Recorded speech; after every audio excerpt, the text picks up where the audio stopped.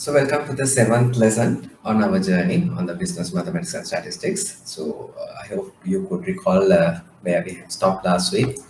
Uh, and uh, also uh, we are the latter part of the 50%. So soon we will be entering the uh, few practical applications of our studies that is under lesson area 9 and 10.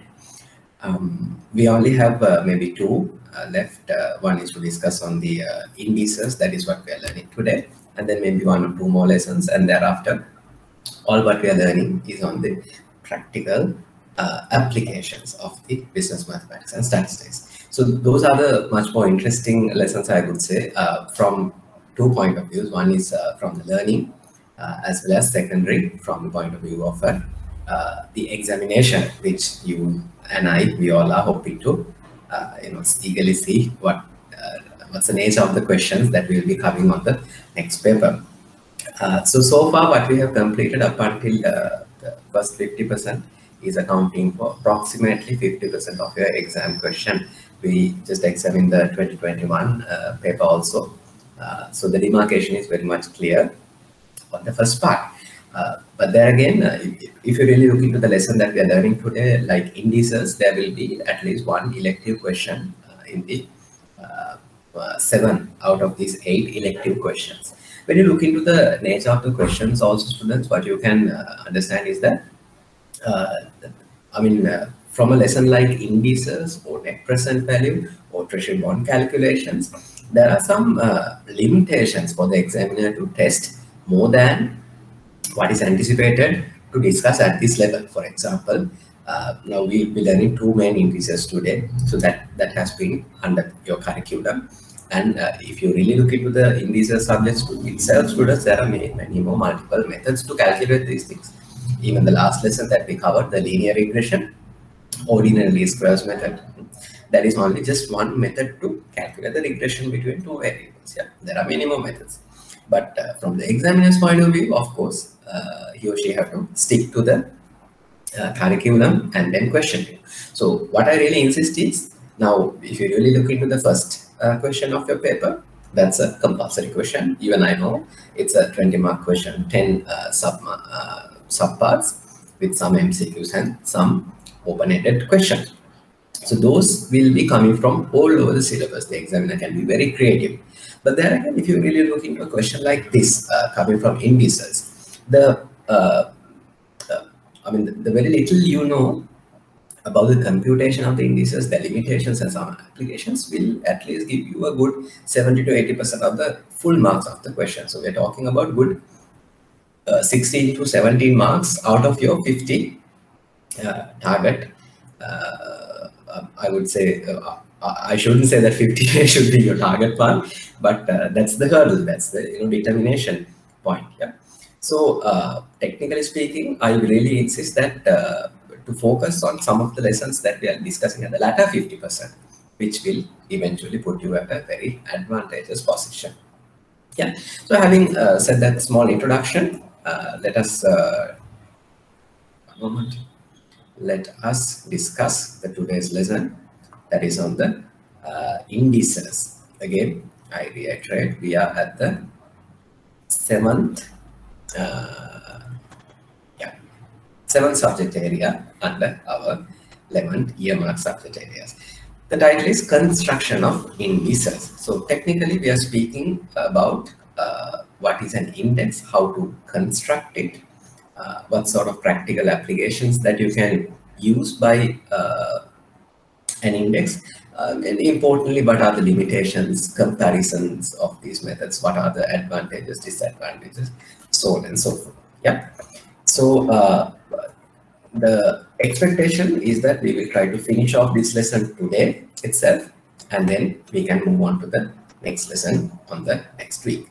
Um, uh, why I'm really trying to, you know, uh, you know, skip some of these exam questions and try to focus much more on the latter parts is that if you really look into computations like uh, treasury securities, treasury bills and bonds, and then when you try to uh, spend some time on net present value calculations, because those will eventually give you a an advantage of this paper. But not only that, the next level, uh, the financial management subject will essentially have a greater impact of the calculations that to learn from this uh, starting point. Yeah.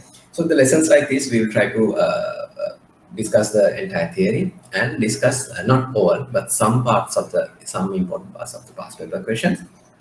And eventually we are saving more time towards the latter part of our syllabus. The area 9 and 10, those will be very much time consuming. Maybe two to three classes also may have to be spent. Yeah. All right. So this is the uh, plan for the day. We will discuss uh, what is an index, the characteristics, uh, and then uh, two main indices that we are going to learn today, namely Laspeyres and Paasche indexes and uh, how to uh, compute them. The computations are very much straightforward, unlike those computations that we went through, like the uh, coefficient of determination or correlation coefficient or linear regression for that case, yeah, calculation of beta, those are complex calculations. But these uh, calculations are very straightforward. We are just taking a small ratio. All what you have to remember is that uh, the main differences between the two indexes, Laspeyres and Paasche. Then just a piece of cake, you can calculate the any index value. Yeah, and then there are two practical applications that we can learn uh, on the today's lesson. One is the real wages, and the second thing is the GDP deflator. So these are some widely used indicators as well as uh, some uh, from the Sri Lankan context, uh, we can use them heavily in our day-to-day -day calculation. So we will discuss two of these things separately. Uh, and the last part is very important, the, the recalculating part. If you really look into the exam questions from area 9, definitely there will be a question provided that you are looking at an index with a series of numbers and then the rebalancing. The, the rebalancing typically occurs of uh, the factor called the rebasing. You have a base here, then you need to change that base here at some point to make sure that your numbers are very much meaningful. Once you do that, that's going to cause some problems. So that is the part that we will be learning under there. Okay. Right, so that's the plan for the day. Let's take an introduction to what is an index is. I've quoted the uh, widely used two indexes these days, the all share price index and SL, S&P SL20 index. Forget about the theories for the moment.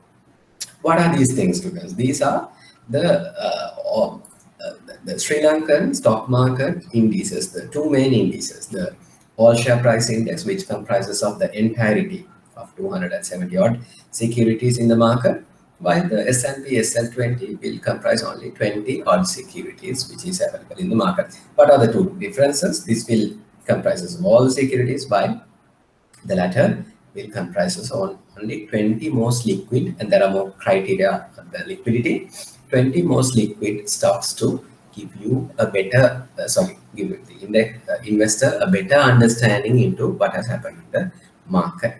Why do we look into these values? If you really uh, can remember the good old days, uh, the, the news channels, uh, while they were having the balanced news uh, broadcast, yeah, they were having local news, foreign news, sports, and then some on the financial news also. Yeah, unlike these days, criticizing and you know bombarding with different biased opinions.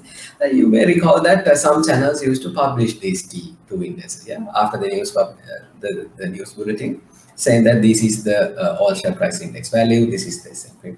Why do they do that? The broader idea is that they need to give an in, uh, give an idea as to what has happened in overall to that particular so-called stock market. What has happened in overall? What can you say? I mean, uh, the, there are many stocks, let's say Sampath Bank, Commercial Bank, Eight Aitken John Keells, yeah. Now those stocks, some, some of those stocks will go up from the value. Some will go down. Some will delist. Some will add uh, to the market with an IP. Some will go through a subdivision of share. Different things can happen to the market. But when you really look into this one number, the value of this all share price index, this number, 4,701. What can you tell? You can compare this number with the previous value. The previous value may be something like, let's say, uh, 4,690. Now, once you look into these two numbers, students, you can get an idea, okay, from, from a certain number, it has gone up to another number. Obviously, the news bulletin would say, you know, uh, it has increased by 1%, uh, half a percent, decrease by 1%, likewise, then uh, the investor or the viewer will get an idea, ah, fine, okay, stock market has uh, gone through some sort of an increase or a decrease in general, in general, as an overall, as a whole. Hmm. The broad idea is the index to give the uh, consolidated picture of what has happened on the uh, whatever the variable that we are looking into, whatever the variable that we are looking into. But why an index? You, you can just simply take a variable like x or y. Why can't we do it? Because the index will be uh, computed based on a certain criteria depending on your requirement. If it is something like inflation for the discussion sake, it will be discussed by using a particular computational formula. If you look into a all share price index like the stock market, it will have a different computation criteria. The price into the uh, whatever the market price into the available quantity. The, the or if you look into something like an inflation, also current price into historical quantity or current price into current quantity, likewise, they will have a different base. So technically speaking, an index will have a weighting, waiting, uh, not a waiting time kind of a weighting, W-V-I-G-H-T, weighting, The uh, index will not only comprise of one element, but multiple elements. We typically call it something like a basket, a basket of goods. Hmm? The, the basket of goods can have some apples, some oranges, some butter, some rice and some liquor and some hand sanitizers. Likewise, different components could be there in the basket. So essentially, what are we measuring? We will be measuring the weight from one particular time frame over time. Let me highlight this factor, one particular time frame to the next particular time over time. If you just keep this basket idle, we do a bit of a drawing for your clarity. So this basket from comprises of many goods. Hmm? Yeah. So if you uh, keep this basket in a timeline like this at a certain given t1 time point, hmm? so then there will be some weight one.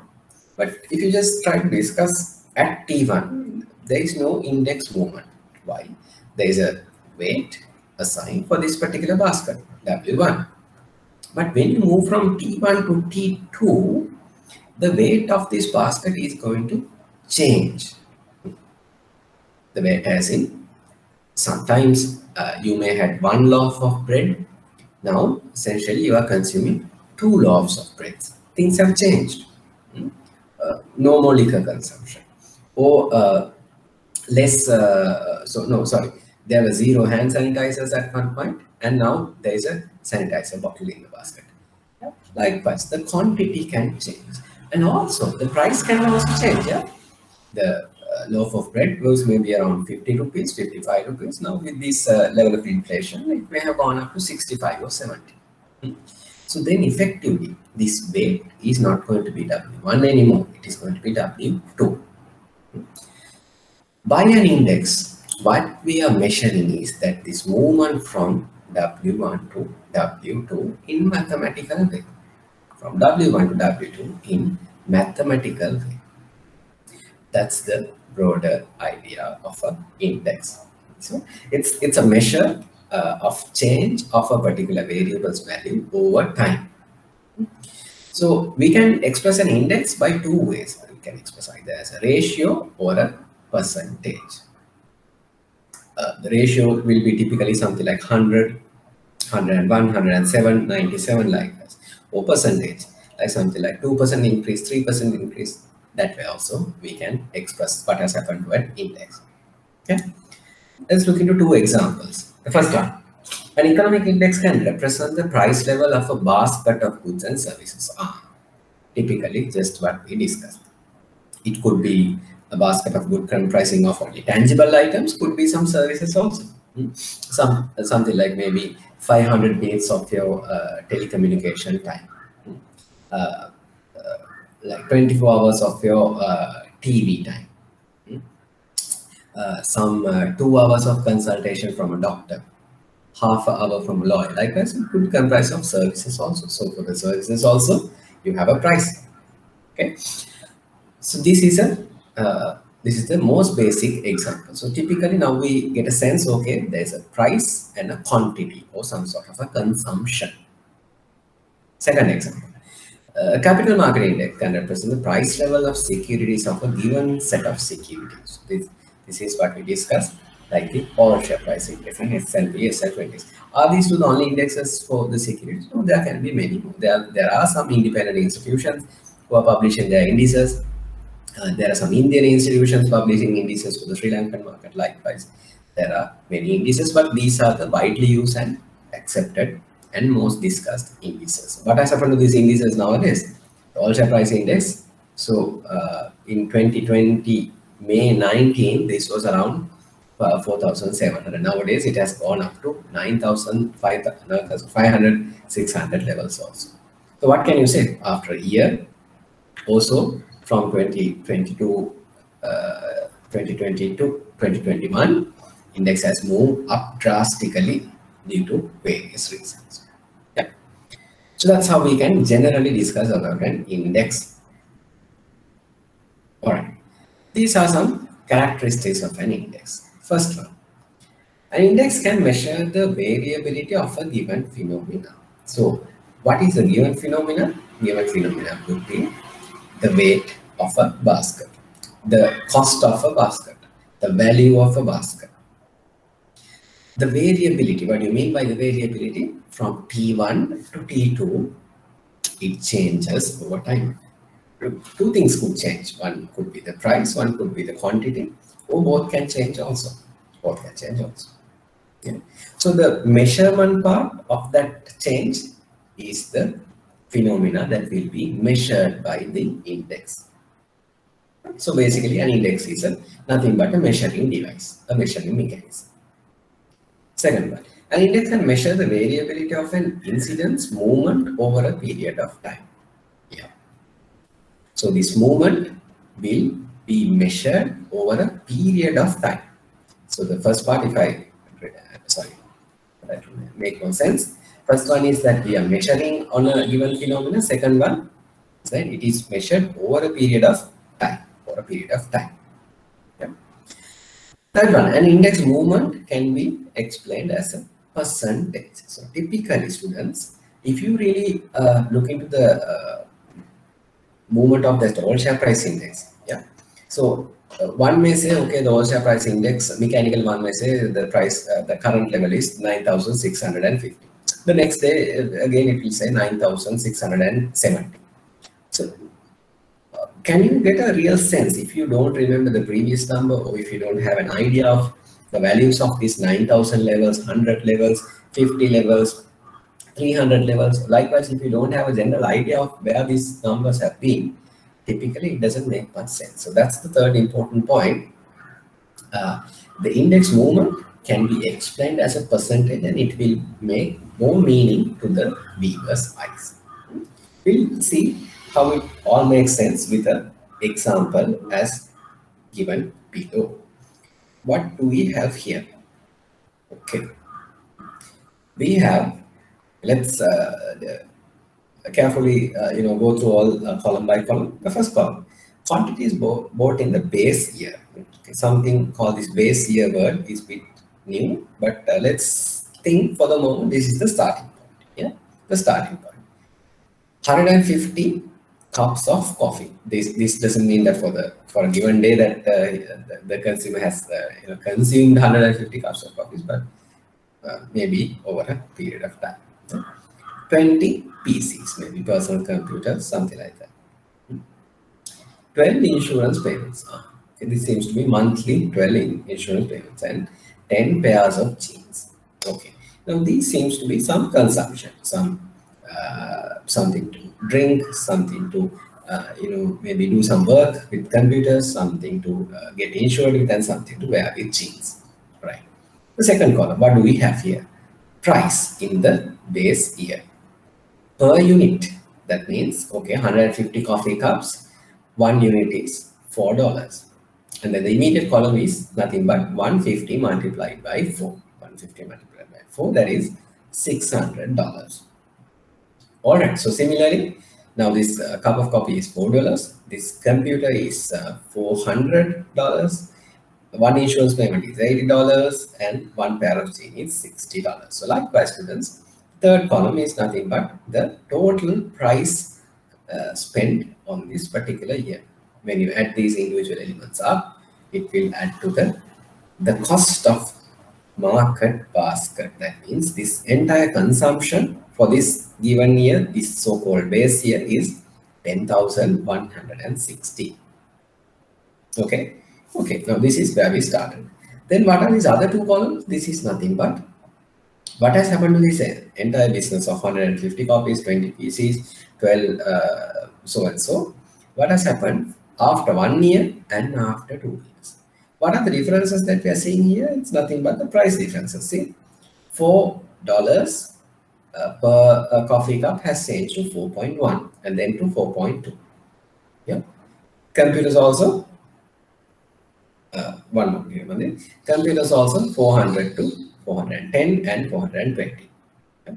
Insurance payments uh, pretty much 80, 85, 87. Uh, the pairs of jeans uh, pretty much same 60, 62, 63 likewise. It has gone to pretty much uh, straight same levels. Okay. Now, when you look into these totals, what do we see here? Now, this first year, you're spending 10,160 for this consumption.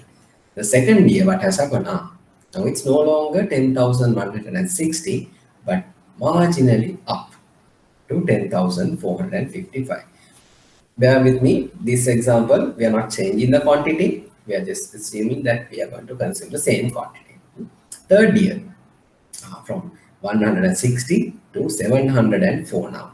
See, so small increase. Now, when you take this price index as 100 from this point, from this point as 100, what will happen in the second year? We will closely take a look what will happen in the second year. It has gone up to 102.9. 102.9. How do you calculate this one? This is simply to take the division of this uh, uh, new value that is 10,455 divided by 10,106. In mathematics, this is all what we do from x2 to x1. If you see an increase, x2 divided by x1 as a percentage if it is a negative number, we know it has a decrease. Hmm? Once you take this fraction, you're getting nice 102.9 as the answer. The second point, now this is point to point. Yeah, the first first uh, two numbers 102 to 105. This is point to point. So 10,455 has changed to 10,704. Yeah. So eventually sorry, sorry. Uh, moment I made a small mistake. Yeah. So this uh, initial, this uh, total cost of the market basket, uh, uh, sorry, uh, market basket, we are computing this price index, so-called index. We haven't learned how to compute indexes, but just I'm giving you a glimpse what is an index, how to calculate. Yeah. So this 100 to 105. Now this movement has happened by taking 100 and sorry 10,704 this particular uh, cost of the uh, market basket after two years in compared with the base year. Yeah, this is not year on year, year on year, rather we take the consumption of the first year, second year, and the third year. So the third year is 10,704 uh, divided by 10,160. So that's how you get this number 105.4. 105.4. Now, what do we see? What do we see? 100 to 102 to 105. What do we see here? Simply seems to be a small appreciation of the consumption basket's value. Consumption basket's value. And this is one aspect of expressing an index. You take the starting point as 100, starting point as 100, and then you measure, okay, 100 is equivalent to 10,160. And so then what is equivalent to uh, 10,455 is equal to uh, 102. 10,160 is equal to 100. So what is the equivalent value for 10,704? That is equal to 105 point something. Yeah. So similarly, now this is one aspect. Similarly, you can uh, you know do another percentage increase uh, also. Look at the second one. Uh, the so-called inflation rate is being calculated like this. Yeah.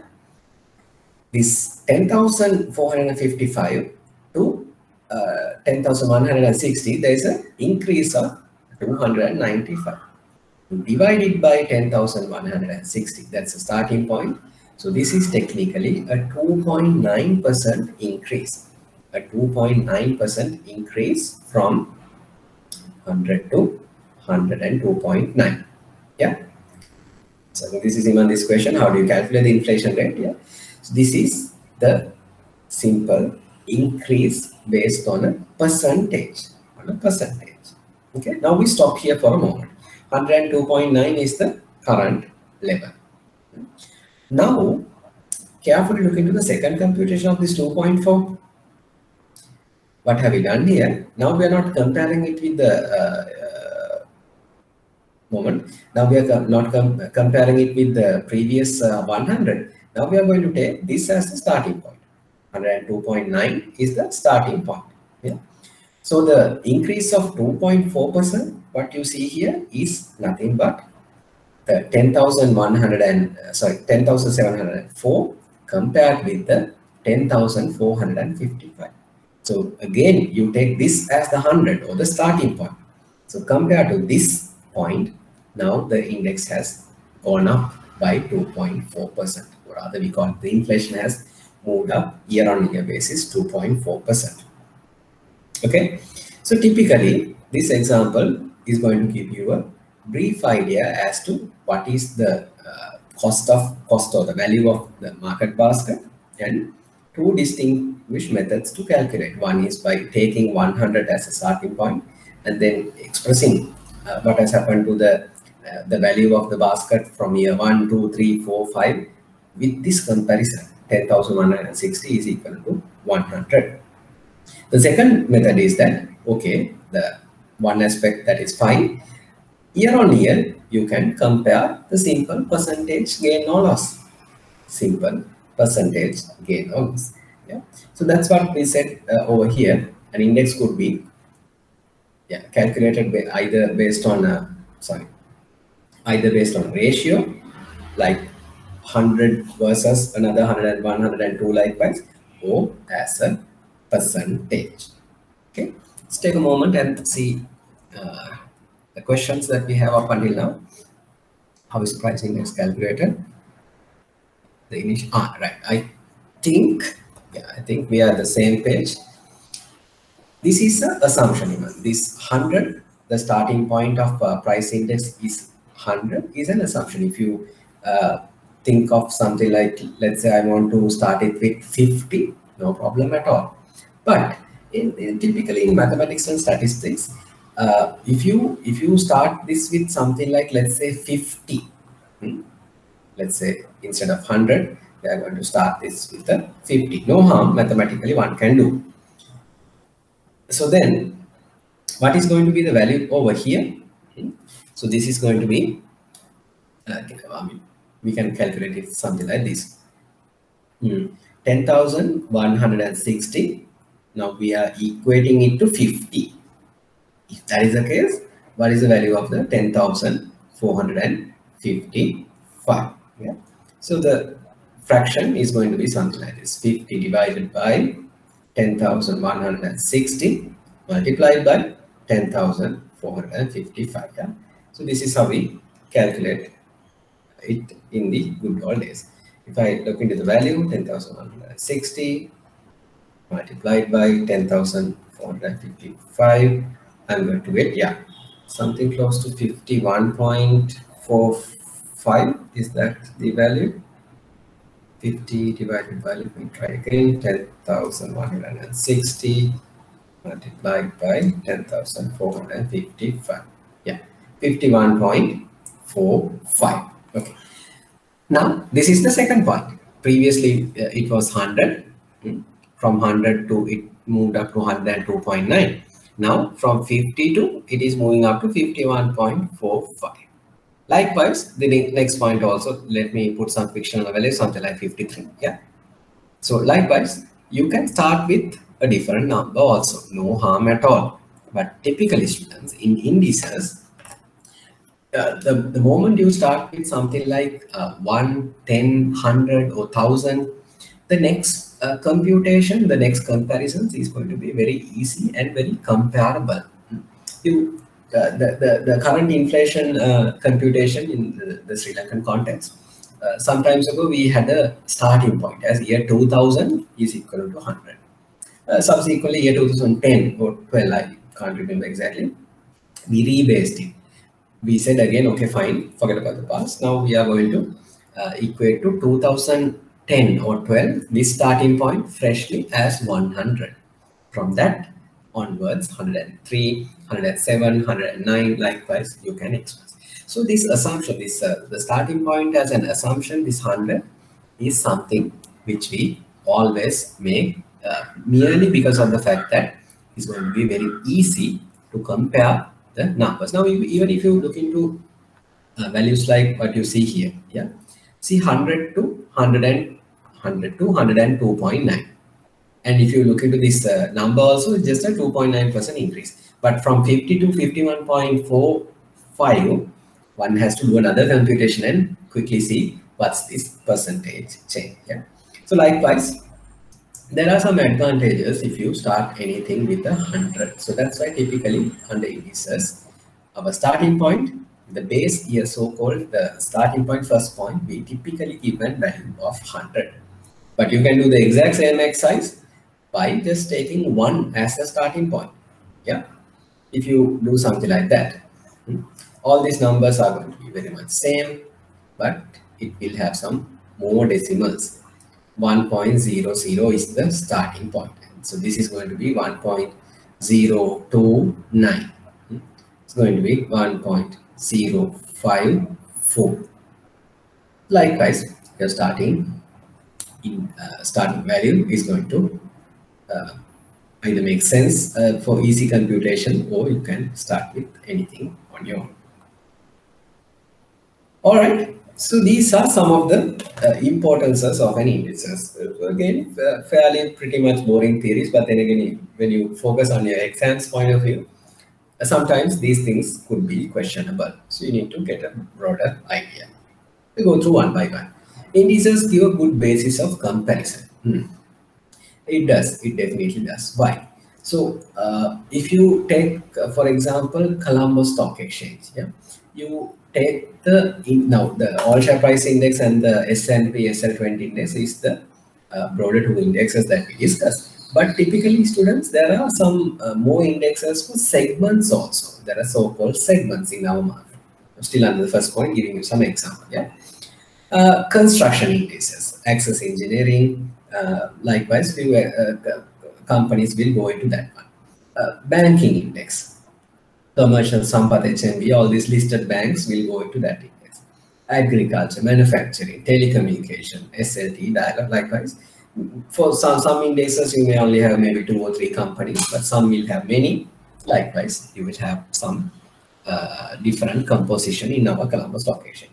Now, just by looking at all share price index, uh, you may not get an idea. But if you really look into these individual segment-wise indices, hmm, segment-wise indices, due to various uh, government policy decisions, uh, due to various market appetites, the movements of markets, the foreign appetite, the, whether the foreigners are thinking that our banking sector is going to be good or bad or different opinions, can maybe change the segment-wise indices much more variant or vibrant than the base index, than the base index of our all share price index. Yeah?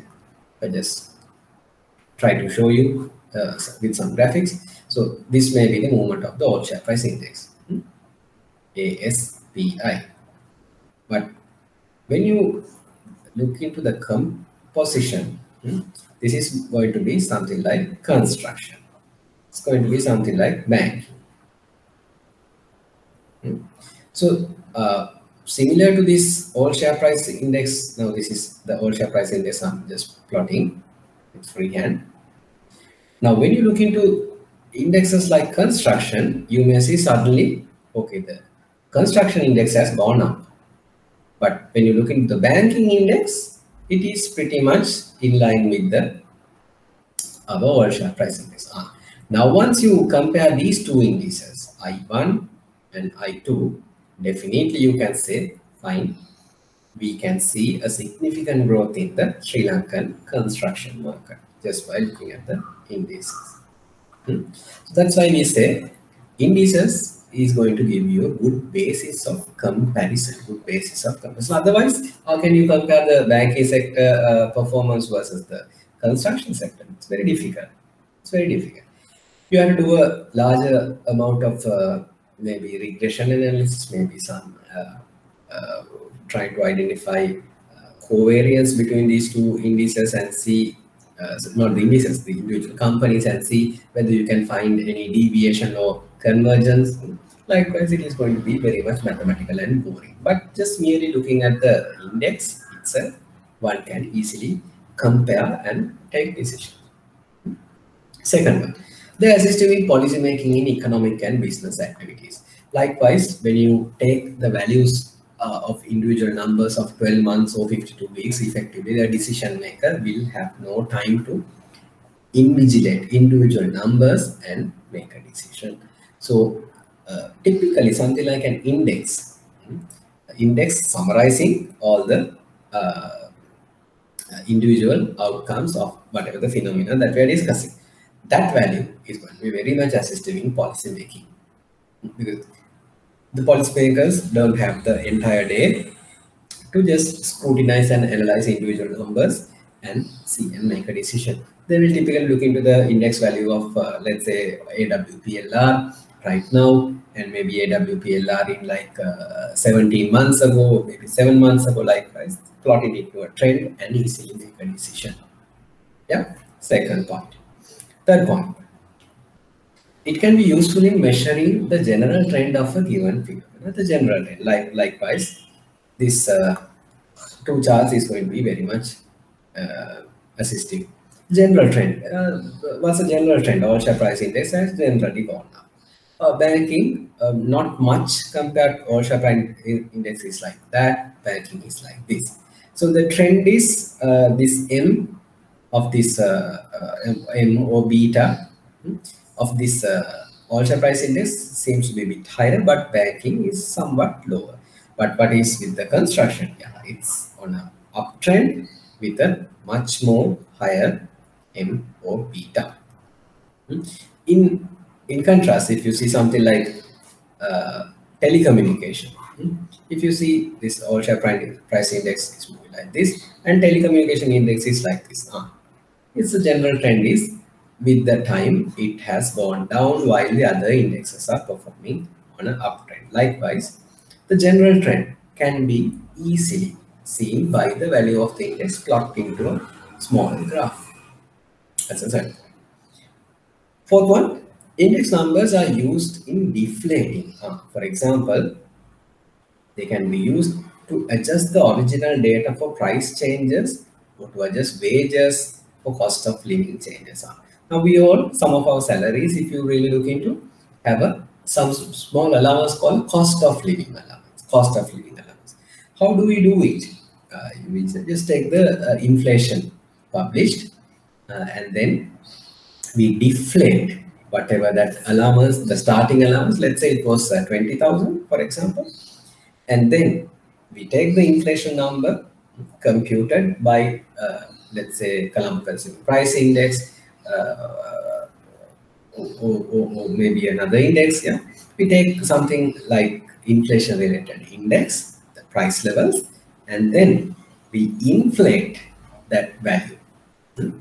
that 20,000 by that much. For example, 20,000 is this particular allowance. Hmm? Inflation is 3%. So then what can we do? We can inflate this. We can inflate this by 3% to 20,600. So that's another very uh, widely used uh, application of the indices. It is used for deflating, deflating or inflating uh, both ways. Okay, that's the point. Fifth, indices can be helpful in comparing the purchasing power of different countries. Ah, now, this is something very much interesting when you look into the current price levels of our Sri Lanka. So uh, myself, I have also seen some of the comparisons of our uh, widely used supermarkets and then uh, what is happening with uh, Tesco or uh, maybe uh, Walmart, yeah, likewise. So index, if you really, you know, those are some one-off comparisons, what is the price of a loaf of bread, so and so.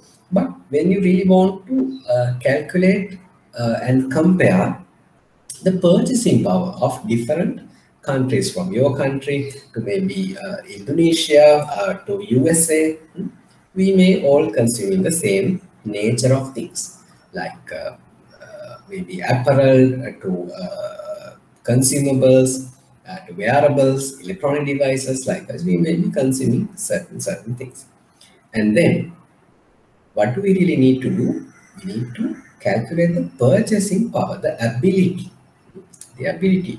Typically, we say developing or underdeveloped countries, their purchasing power is very much lower.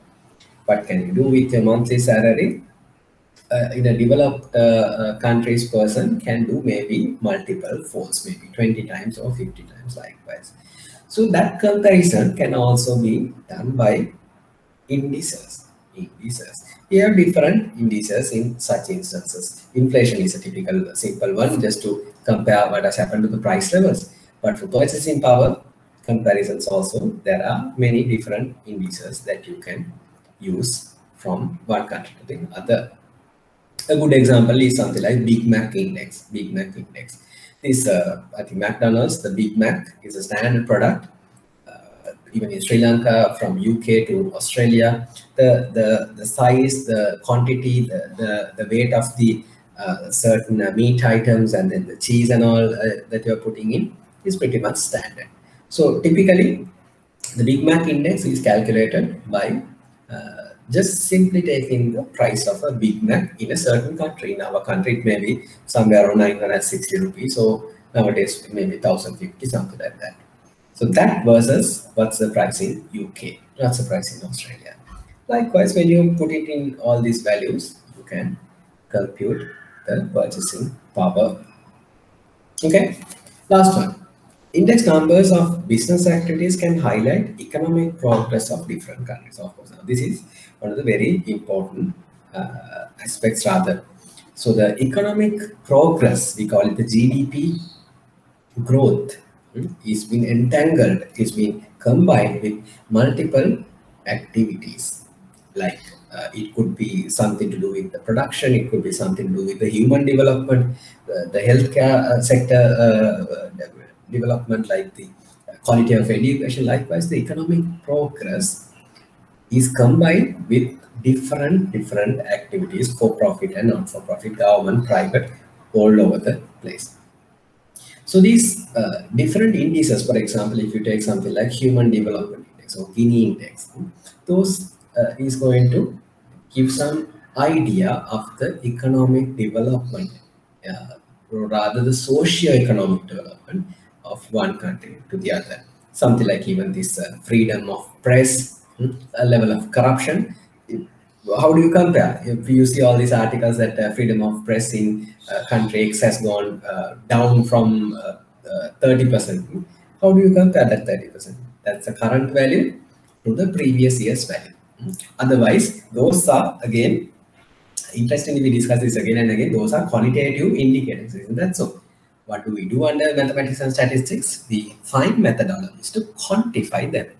Once you quantify them, you have a, let's say, uh, for example, if you take something like uh, freedom of press, freedom of press, and not social media, not like you, and I, what we do, but the press, whether they will have the freedom to uh, write anything they want or it's being controlled. Hmm?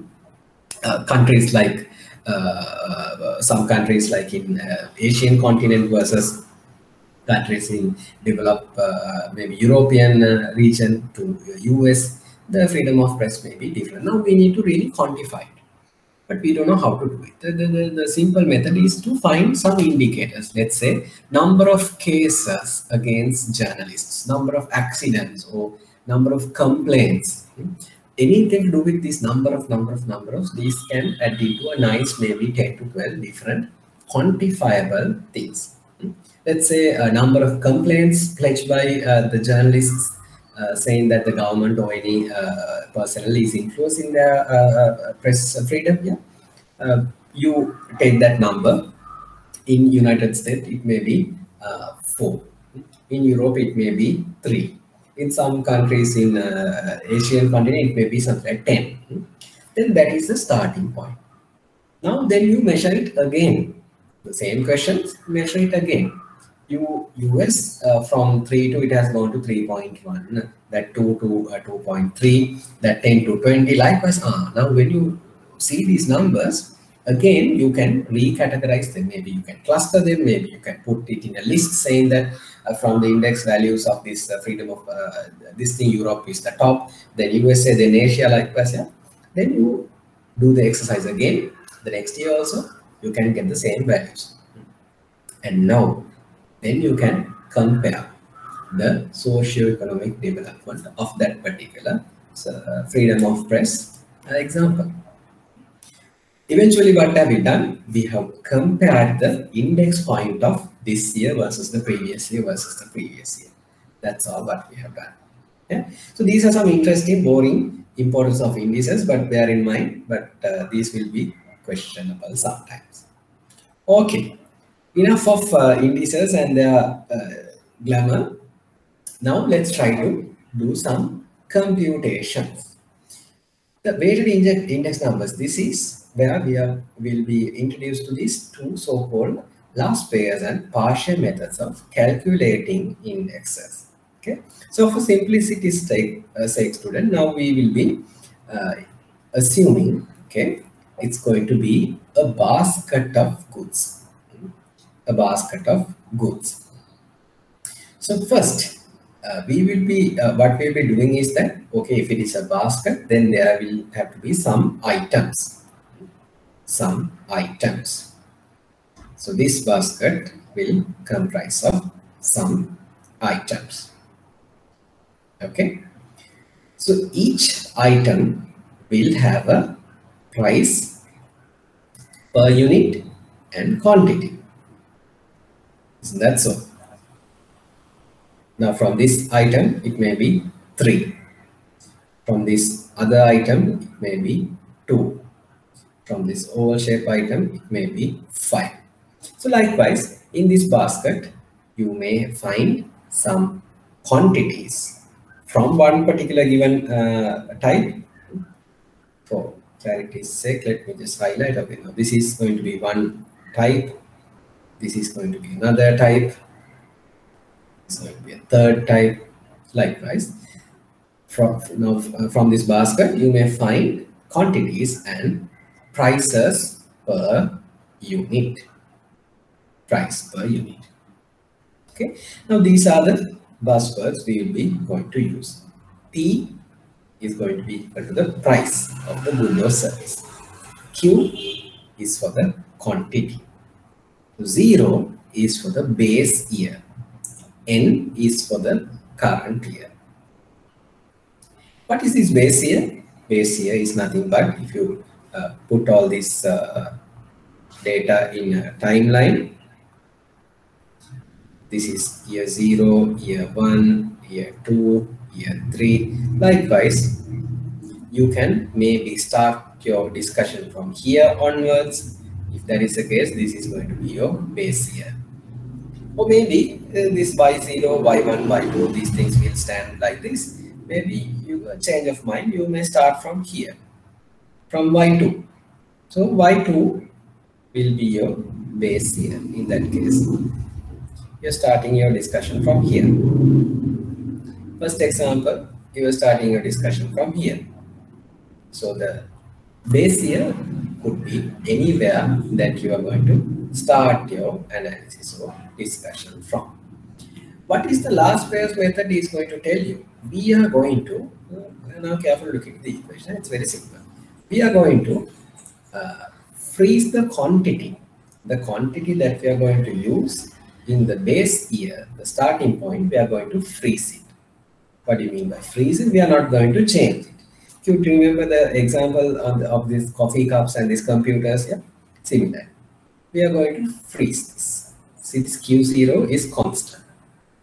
That means whatever we have used, now if I uh, put it in a timeline, in base year, that is the zero, this is the n, the current year, you had some P0 and Q0. Hmm? Now here you have some Pn and Qn. Now, although I'm going to tell you that you're going to freeze it uh, so and so, but uh, the quantity can be uh, now Qn could be equal to Q0 or otherwise. Maybe this Q0 is unchanged, maybe it has changed, but typically everything will change. P, P will change, Q will change. Okay. So under Laspeyres method students, what are we assuming? We are assuming this piece, this Q0 is going to be same on this point also. So instead of Qn, instead of Qn, actually we are assuming that this is also going to be Q0. It's going to be Q0. That means whatever we were consuming at the starting point, those quantities we are going to consume the same quantity same quantities.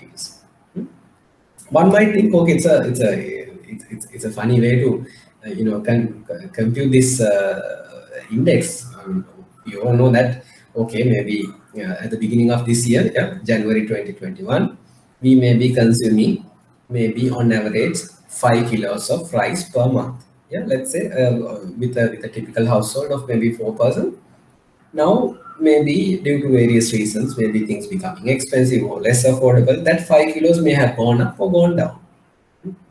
So what's the meaning of, you know, keeping this Q0 uh, as at the January 2021 5 kilos uh, per uh, family?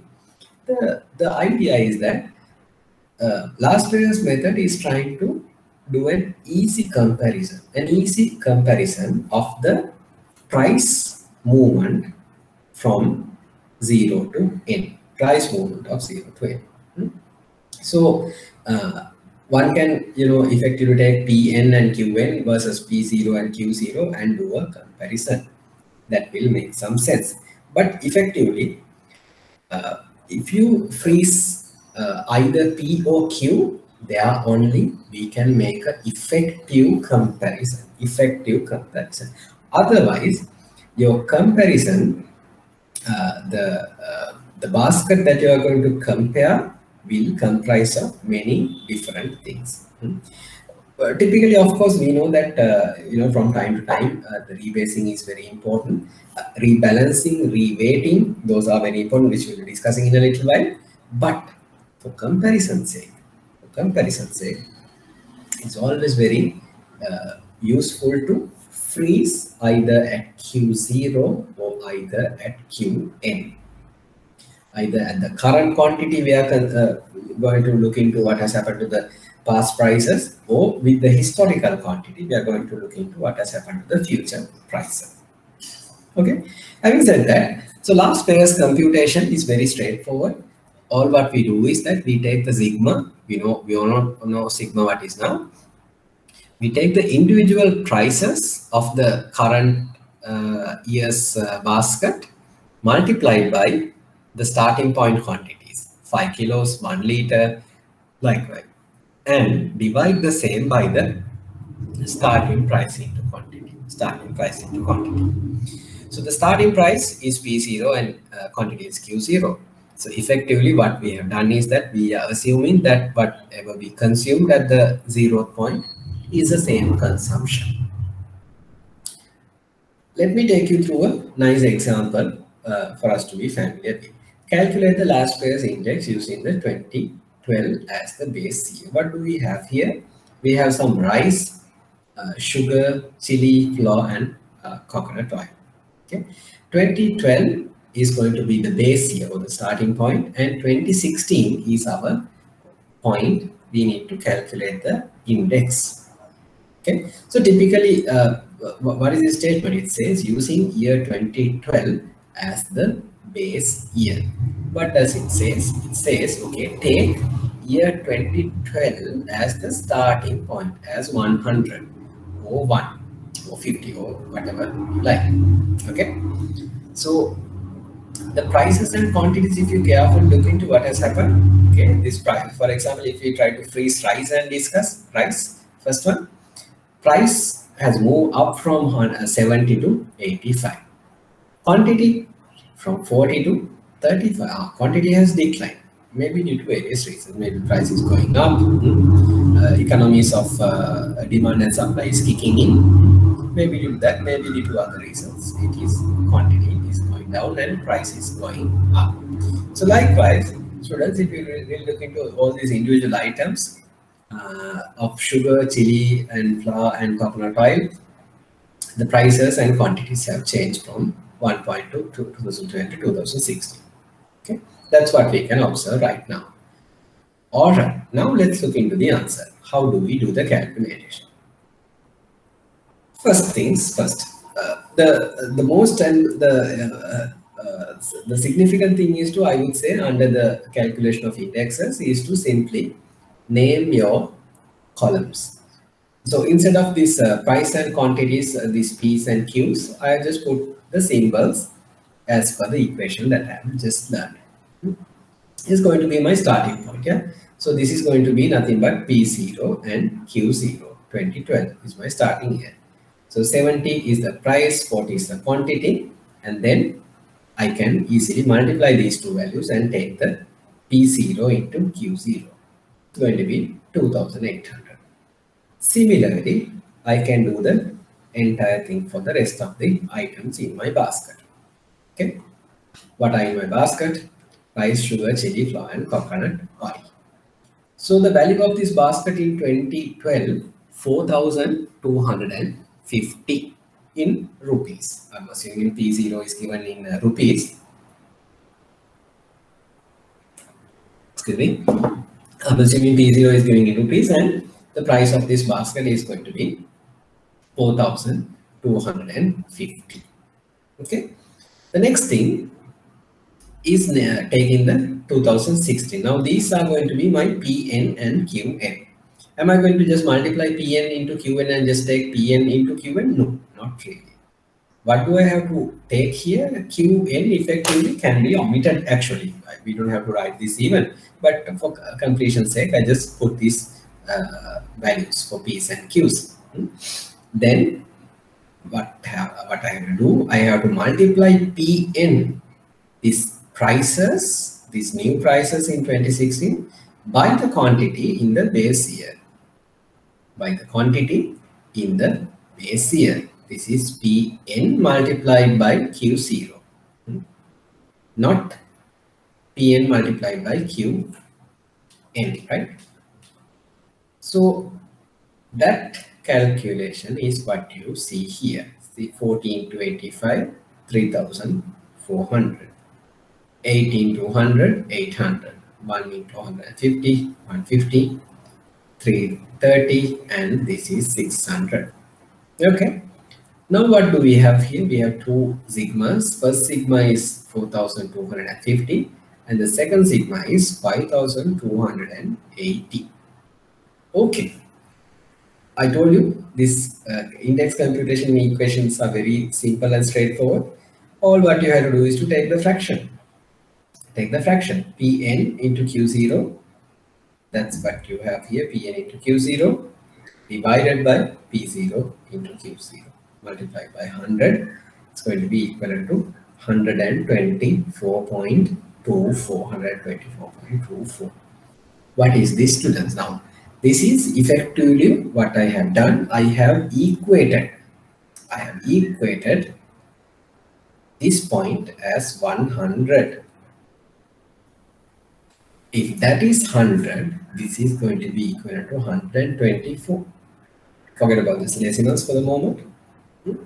So typically, if I'm discussing this as a uh, price or inflation index, I can say, okay, prices have moved up by 24% from year 2012 to year 2016. That's the effective usage of this computation. We have to find a usage for any computation, so this is that. The computation of this index is being taken by uh, the, uh, the fairly straightforward price into quantity, price into quantity. What is effective price into quantity is the value, value of this particular goods and services. So simple, isn't that so? So the answer to this question, calculate the Laspeyres price index using year 2012 as a base year. That means year 2012 is going to be 100. If that is 100, this year 2016 is going to get the value of 124. This is what we were looking for. This is the number that we wanted under Laspeyres methods. Okay. So this is one computational method. Let's move on to the second computation method. Now this equation is pretty much similar to the previous one, isn't that so? Yeah, this is uh, sigma p's and q's into 100. This is also sigma p's and q's into 100, yeah? But careful look into the change here, as I told you at the beginning. Now, instead of qn freeze, q0 freezing, now we are going to freeze qn what is Qn? Qn is the quantity that will be used at the current year. This is the starting P0, Q0, this is Pn and Qn. So this quantity, this last quantity we are going to freeze. That means we are assuming that whatever the quantities that we are going to use right now 5 kilos, uh, one uh, gas tank, hmm, uh, two sunlight soap, likewise. That quantity that they are using at the present moment must have been the quantity that we may have used for the historical periods also. Yeah. So this is bit uh, bit of a uh, I would say uh, broader assumption saying that okay whatever we are using right now must have been the quantities that is being used in the past. But compared to the Laspeyres, now Laspeyres method also have the broad assumption the quantities at the beginning is continuing. But that of course may be uh, for the comparison sake, maybe for the comparison sake. But this uh, Paasche method, if you really look into it, uh, of course, Paasche is also a comparison, but this assumption seems to be a bit more unrealistic, isn't that so? Because the quantities that we are using uh, currently Qn may have come to Qn due to various reasons. And of course, we for sure know that Qn is not going to be the same quantity may have been used in the previous years. However, these are the two distinguishments of these two methods. Whether you are going to free, uh, freeze the uh, uh, Q0 or whether you are going to freeze the Qn. Okay all the rest of the things are very much uh, similar and straightforward. See, this is uh, used for the quantities of the current year to compute the index uh compared to the base year quantities used by uh, Laspeyres. Uh, the equation is going to be very much similar. The symbols are almost similar. P, Q, 0, N, these are all similar, except the fact that now the previous example, if we really try to calculate using the Paasche method, let's just see how the output is going to be. Okay. So the Laspeyres method, uh, now uh, the Laspeyres method, previously we used the P0 into Q0. Isn't that so? So this part, this part P0 into Q0 is what we used to compute. But under Paasche, now Q0 is not significant what is a significant uh, portion right now? It is going to be nothing but the Qn. Yeah, Qn. The quantity of the car, sorry, quantity of the current year. quantity of the current year. Okay, so this uh, Q0 effectively doesn't going to add any value here.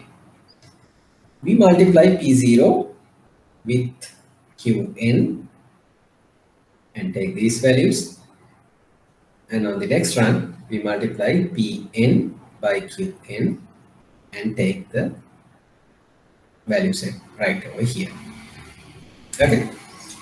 So effectively what we have done, we have done the exact same computation just by changing instead of uh, Q0, just by taking Qn, just by taking Qn. Okay. So uh, for the uh, Paasche index, we are getting the value of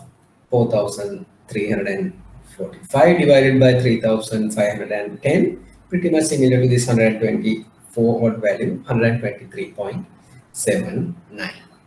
Yeah. Previously on the Laspeyres, we got a value of 124.24. Paasche method also not much of a difference. For this example, 123.79. Okay. See, fairly straightforward calculation. So this is all what you have to calculate, except for the this, this, this rebasing we'll be discussing in a little while. Except for that, this is all what is there to calculate. Again, reiterating, Laspeyres, we freeze the quantity at the beginning base year, Paasche, we freeze the quantity at the current year, the current consumption. Okay. So that's how you do a computation. Let's have a bit of a comparison of these two methods. Are these the only two methods? No, there are plenty more different uh, index computations methods. But for our curriculum and for our learning, this is all about learning that there's something called indexes and uh, taking one or two uh, example methods to learn how to calculate an index using some raw data. Yeah. So uh, bear in mind this is not the only two methodologies in the world. There are many more. Having said that, this is just a small comparison between the Laspeyres and the Paasche. First point. Laspeyres method attempts to assign weights of the base year and hence it is less costly to calculate. Uh, what do you mean by that?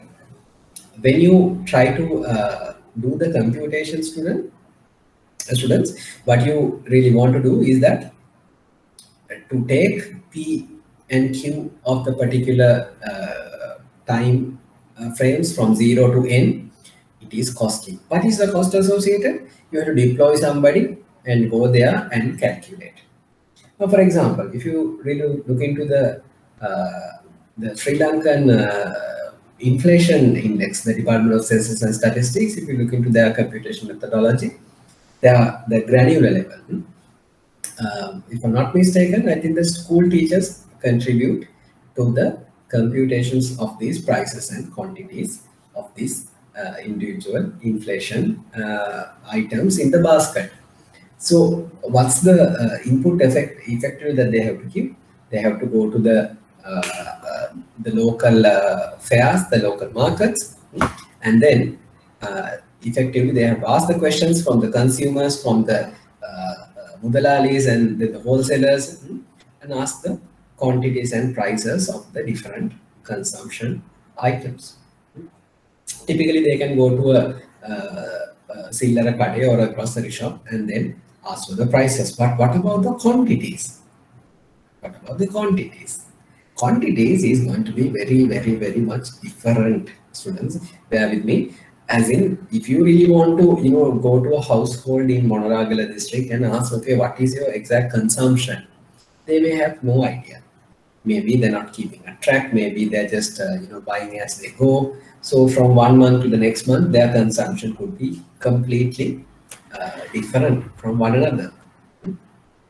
So uh, if you do a general uh, price level calculation, sorry, uh, price calculation for this uh, entire Sri Lanka, just by uh, taking into account of these half-baked values, what is going to happen?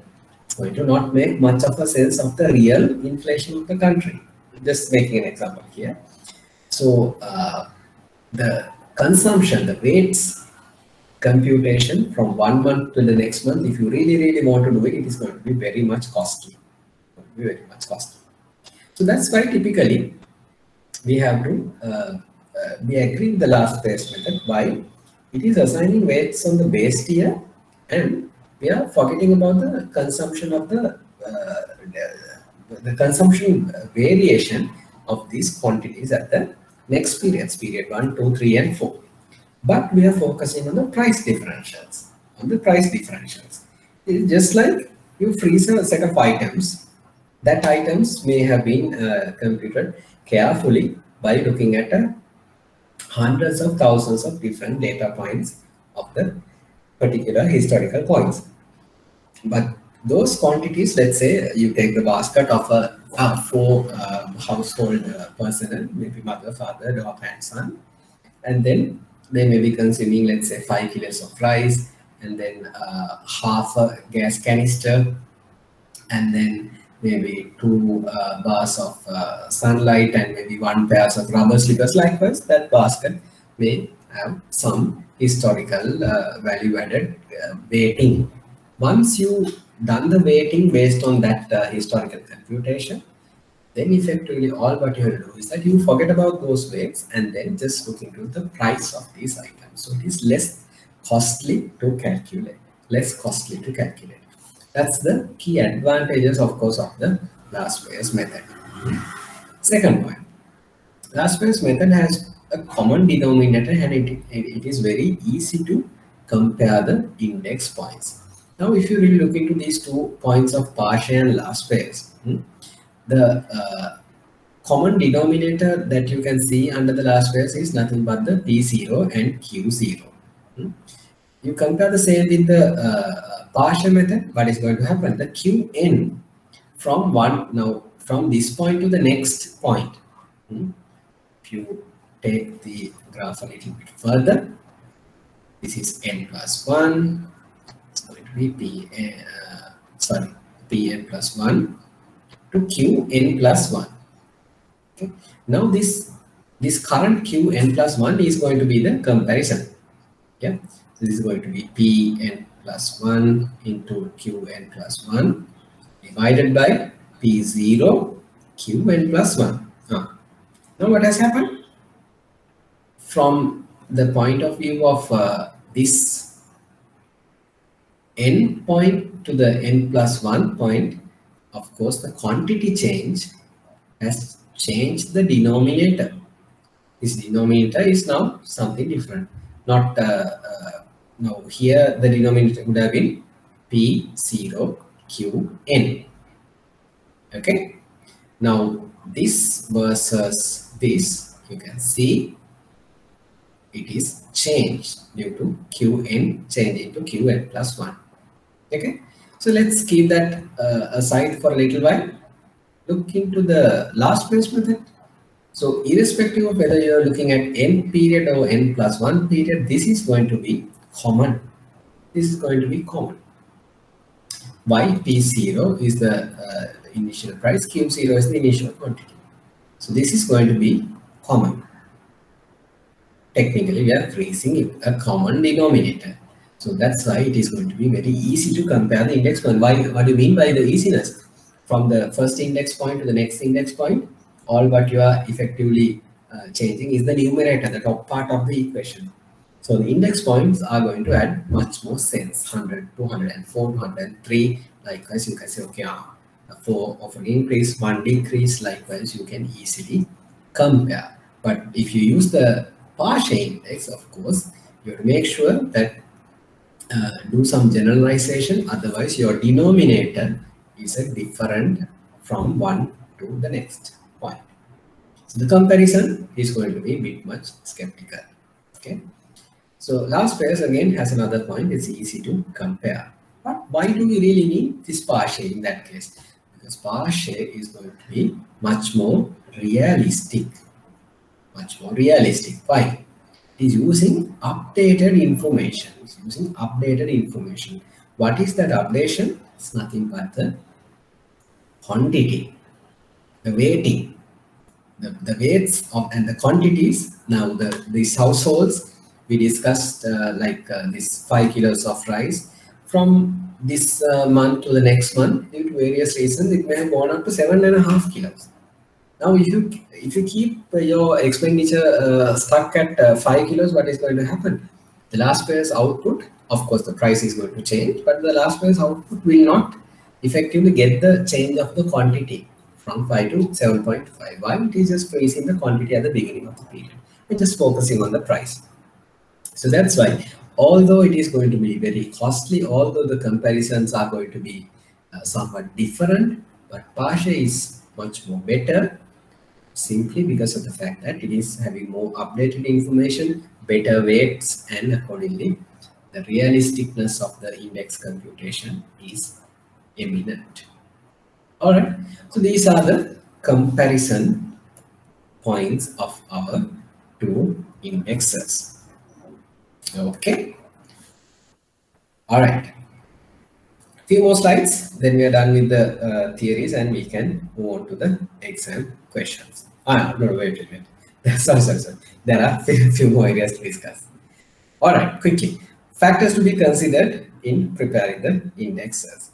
First one, base year should be a reasonable year. Uh, base year. If you take the inflation uh, calculation with a base year of 107, uh, sorry, uh, something like way earlier than 1900s, uh, something like 1996, or maybe 1986, uh, maybe 1976, if you take that kind of a base year, what is going to happen?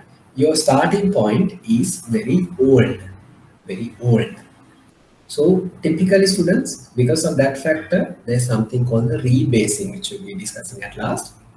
The rebasing finds the answer time to time you change in the base year. And now you may get be getting the question, okay, fine, now we nicely did a uh, index, maybe 100, 107, 109, 104, it went down also.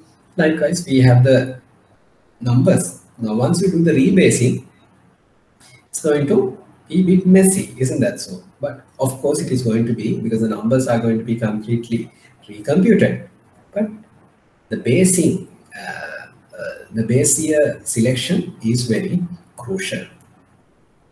Unless you have a very reasonable base year, hmm, uh, something like uh, maybe less than five years, less than 10 years, depending on your uh, computation, maybe from statistics to, sorry, from business to uh, healthcare to telecommunication, it will have significant uh, uh, reasoning to select a 10 years or 20 years old base to uh, the current one versus selecting five years kind of a very reasonable one. Yeah, but the whatever the index has to be chosen with a reasonable starting year, reasonable base year. If it is typically if it is very old, then we can not make much sense. Okay, second point. Basket of items should be carefully selected to represent true and a fair usage. Ah, now this selection is very important. Hmm? For example, if you take uh, the uh, the one of the consumer price index in the country, the uh, the CCPI, hmm? the Greater Colombo Price Index may not be the entire country's consumption of items. May be somewhat different from the Greater Colombo to the suburbs, their consumption and whatever the consumption of a uh, person in the Colombo district may be different. So the that, that's the example for this basket selection. Uh, from area to the next area, if you are doing a comparison, you have to make sure that the selection is very much fair and uh, the items that you're going to put for the, you may be not consuming soap on, in one area but you may be heavily using soap in one area you may have to choose an average in that case. Try to find, find a good uh, some kind of a uh, representer like mean median or mode or anything which will be the number. Okay third point. Weighting should represent the actual usage. The I would say this is one of the most important characteristics, the weighting. What do you mean by the weighting? That's the as, uh, assignment of this W1 to W2. This is coming from W1A, W1B, W1C. Kind of, these are individual A, B, C kind of uh, goods in the basket. Yeah. So this is 30%, this is 20%, this is 60% uh, likewise. Sorry, this is 50% likewise. You are assigning some weights. So from the from the next uh, point also you may have to reweight it. Hmm? Why? Now the consumption has changed. 50% hmm? likewise W2C maybe 50%. C unchanged, A has increased and B has decreased. So this uh, once you select a certain basket students, uh, the assignment of weights uh, is going to start uh, start your first basket.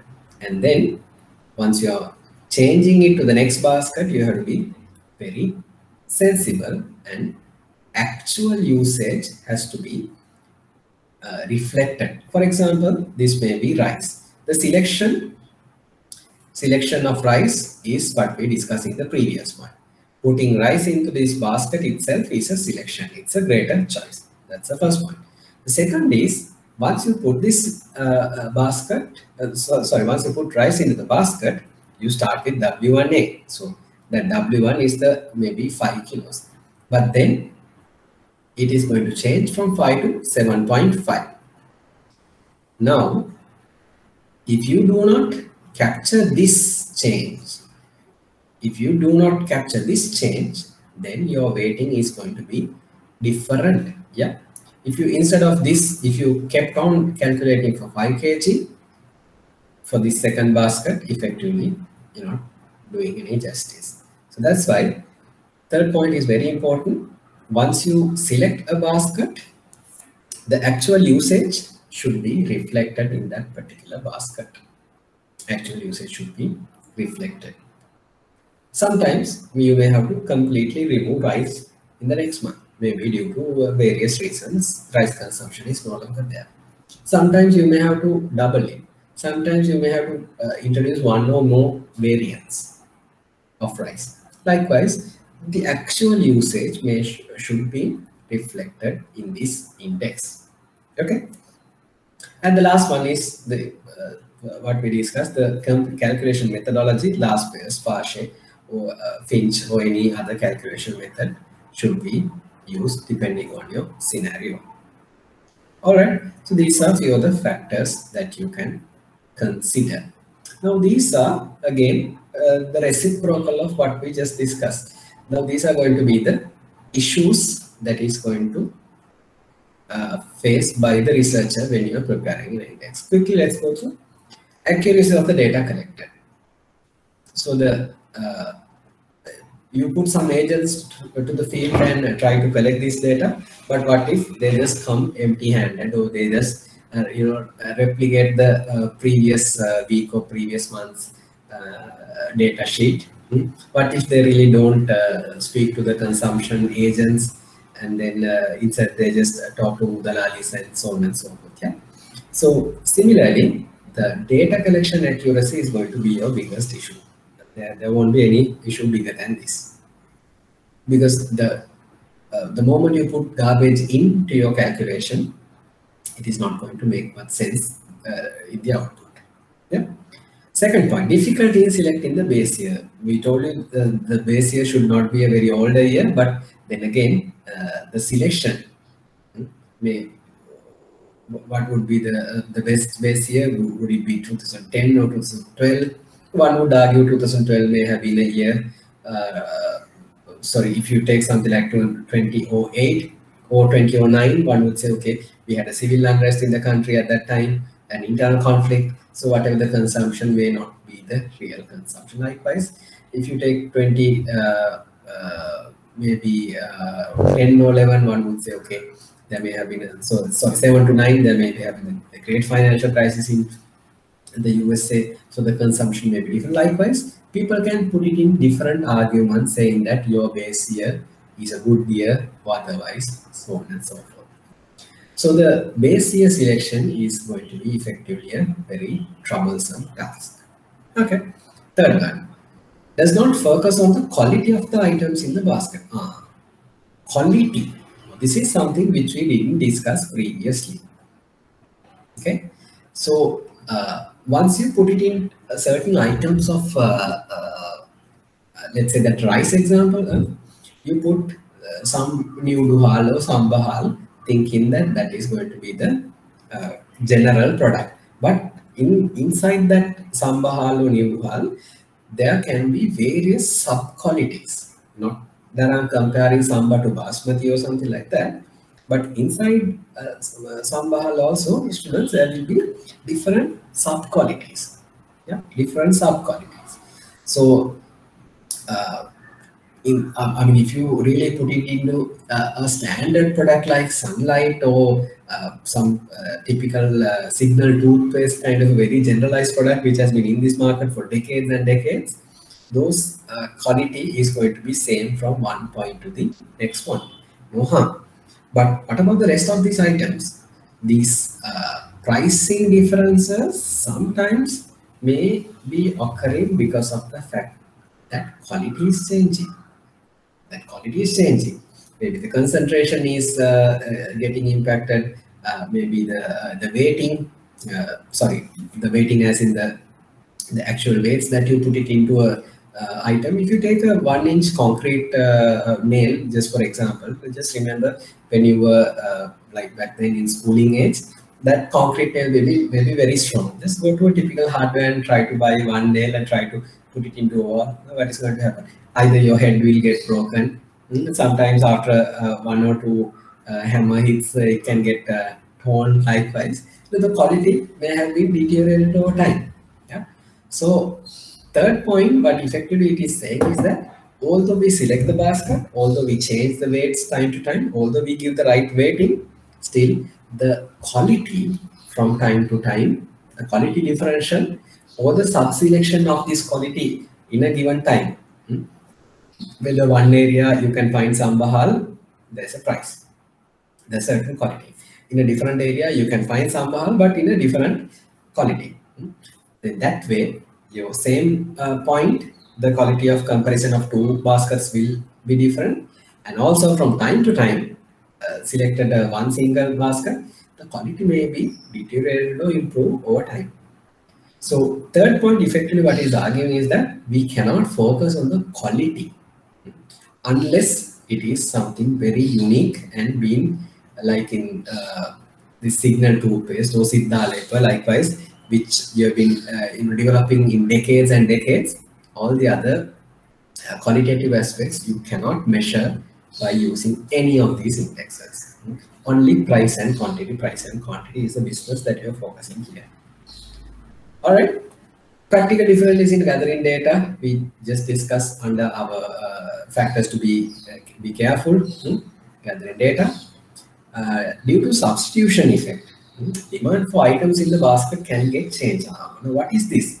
The substitution effect. In economics, we learn uh, sometimes now if a particular prices, uh, sorry, if a particular goods price is going to be significantly high or due to unavailability, people tend to go to these substitute products. People tend to go to these substitute products. What is the uh, typical substitute product is going to do? Is going to give the same sensation, same experience, same uh, uh, enjoyment of using a product or goods and services by using a different product. Hmm? For example, let's say uh, now buying a vehicle is very much different and uh, sorry difficult in the current market context. Why? Because the prices are skyrocketing due to these import restrictions. So you're substituting that to maybe uh, taking the Uber or PickMe in that case. The same experience, same service, transportation from one point to the next one, you're going to substitute. If uh, uh, you do not have milk powder in the country due to various reasons, you have to substitute that with the liquid milk. So, similarly, you drink milk tea previous days with uh, the milk powder. Now it's no longer there. You have to substitute it with the liquid milk. So now what, uh, okay, that's the economics part, but what is going to do to our indexes? So the demand for the items in the basket can get changed unknowingly. Unknowingly, we are keeping milk powder and so on and so forth. But due to the substitution effects, people are consuming same uh, uh, experience, but it is not from a good in our basket, but from a different product. So can we capture this? It's going to be very difficult. Again, you have to interview, interview, interview, and uh, get the real uh, raw data and see whether the people are consuming the uh, same product which had been used previously or due to various reasons, availability, unavailability, price hikes, price doubling, the people are using a different product. Yeah. So these are some few issues when it comes to index preparations. Yeah. So last but not least, there are few uh, areas. One uh, such area is that few real world application of our indexes and its usages. And secondly and lastly, we will discuss the rebasing part of it. Okay. Two things, real wages and GDP deflator are the two widely used index-based uh, numbers that we can see in the real. So quickly, let me give you an introduction. So a real wage of a person is nothing but the inflation adjusted nominal wage. Inflation adjusted nominal wage. What do you mean by this entire, this is, sorry, there's a typo, not this, uh, the, there was a typo. It should be nominal. N-O-M-I-N-A-L, namika, nominal. Hmm? Here versus nominal. But what you mean by this nominal wage is students, now you take your salary, the, those who are employed, you take these numbers from uh, the every year's January to the previous year's January, likewise, you put these numbers and then try to see whether you can see, of, of course, that anyone's salary may have been increased. Uh, but in real terms, in real terms, you may sometimes get a power salary why? Because of the fact that inflation has kicked in. Inflation has kicked in. What do you mean by the inflation? General price level appreciation of the goods and services. So uh, this uh, these indexes, this is the part where the indexes are uh, being used, the inflation. You can calculate the real uh, sorry, real wage of uh, any person just by simply adjusting it with inflation by using this formula. How do you do it? You take the uh, nominal wage, hmm, you take numbers like let's say uh, year 0, year 1, year 2, likewise. Year 0, you let's say, uh, okay, this is the starting point with a 30,000 salary, hmm, and then 35,000 to 40,000, likewise, your wages are there and inflations 2%, 3% likewise. So effectively what you can do is you can adjust for inflation. You can divide this by 1.02, this by 1.03 and calculate the real wage of these particular years. So effectively if you do something like this, you may see, okay, from nominal terms, from nominal terms, you see your uh, salary slip is going up and up and up. That is 35, 40 likewise. But in real terms, if you plot a different graph from 30,000, it may go on up by maybe 32,000 to 34,000 likewise at a much more smaller phase simply because of the fact that inflation index can give you the answer here. Okay. That's one of the widely used uh, practical applications, calculation of the real wages. Similarly, the GDP deflator is also another widely used index-based computation with a base year and then we are computing nothing but the nominal GDP and also the real GDP. So these are effectively the same uh, computation as the previous one, the nominal GDP the GDP is nothing but the, uh, the values of the goods and services that is produced by an economy for a given particular year. So you calculate this now, from year on year, you, what can you see? The price levels are going up. So because of the fact that the GDP may also go up. But GDP deflator is effectively calculating nothing but an index similar to inflation. How do you do it? You take the uh, nominal GDP and real GDP separately. Take the fraction, effectively this GDP deflator will give you an inflation-like output, sort of like an index, where you can uh, see the effect of the price level increase versus the effect of the real GDP increase or decrease. What do you mean by the real GDP increase or decrease? That means the uh, goods and services increase for a particular year versus the inflation impact coming for that goods and services because of the price level changes. Hmm. So that index is also another practical application that we can see. Simple calculation is you take you can calculate the GDP deflator by dividing nominal GDP to the real GDP. Deflator measures the GDP change which, which has happened due to the changes in the price levels. This, so this will effectively take out all the other, uh, what you call the uh, production oriented parts and will give you the changes in prices. That, that's what I told you. It's similar to the inflation like output. So the uh, effectively like in any this thing, uh, this GDP deflator will also uh, can start with a particular year with a base year of 100 and likewise it can move on. Inflation and again here also inflation. Wages and GDP, gross domestic product. Okay, two widely used applications under coming under indexes. So this is the last point that we have to discuss that is on the recalculation. Quickly, I'll show you an example and we'll move on to a couple of exam questions. So at the exam questions, there are plenty more to discuss. So the broader idea is students now uh, uh, 2010 to 2014, if you really look into these values of 180 to 200, to 225, 250, 300. Now this is a particular index with a base year starting from year 2000. That means 2000, you may, you may have had 2000 here with a starting point of 100. Okay. So again, if I really want to, I can change the year 2000 to 2005. So uh, there may have been a, so likewise, there may have been 2005 and it came to 2010 likewise. And that's how it moved on. Now I'm going to choose 2005 as the base year. I told you again and again, if it is the base year, you are going to start 100 from there points onwards. So what I'm going to get it is something like this. All these 180, 200, now these values are going to have new values, new values. So this 180 is no longer, this is the old index.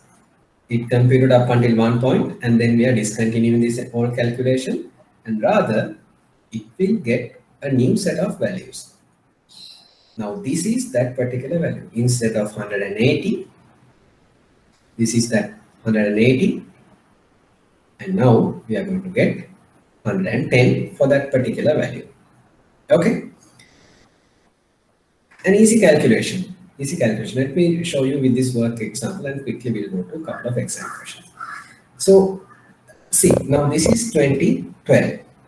Uh, what you see here 100 120 150 180 200 this is the starting point this is the starting point sorry this has to be the base here has to be 2010 2010 is my starting year base year okay in the middle i am changing 2012 to be my base year 2012 to be my base year so this is going to be 100 now.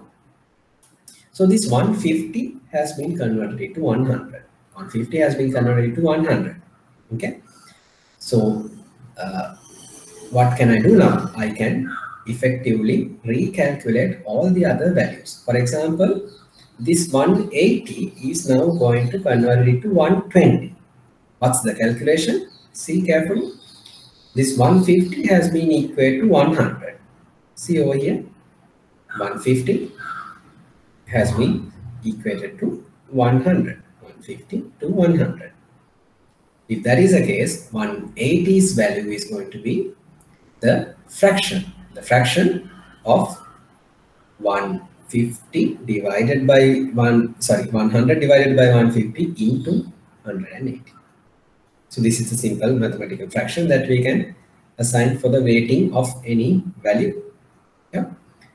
If 150 is equal to 100, 180 is going to equal to 180 multiplied by this particular fraction, 100 to 150. Careful with the upside down, sometimes you may tend to miss it.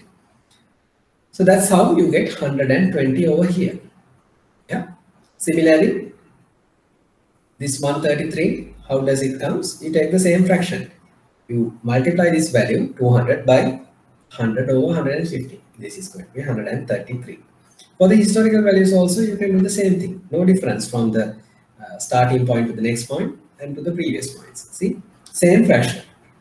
Uh, 152, sorry, 100 over 150, 100 over 150, 100 over 150. The same fraction multiplied by the historical values where you can get the new values.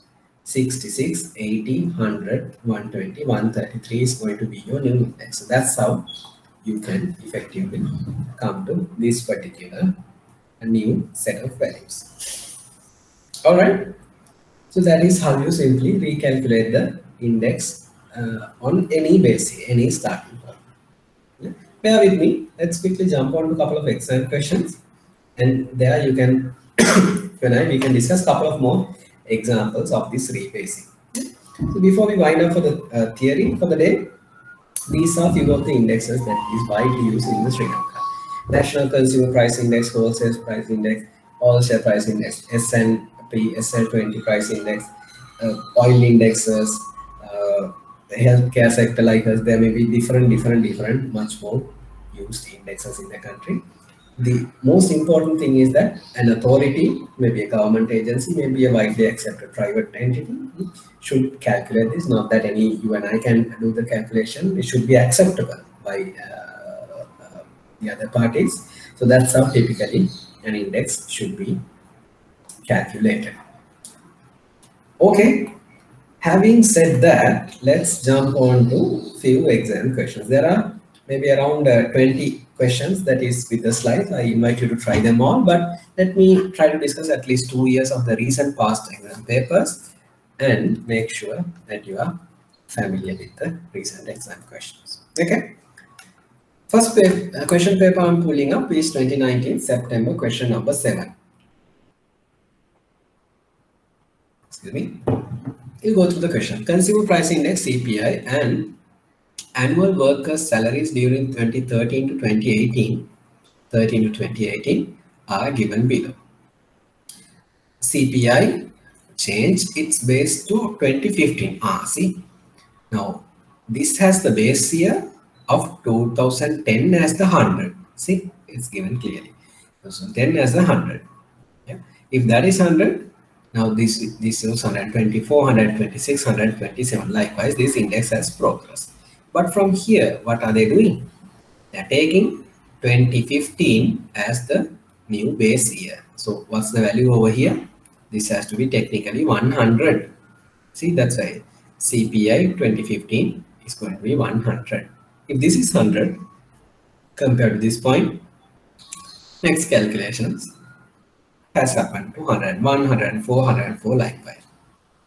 Okay, and meanwhile, these actual salaries, these nominal values, 360,000, 375,000 likewise, these nominal salaries of a particular person is also given in line.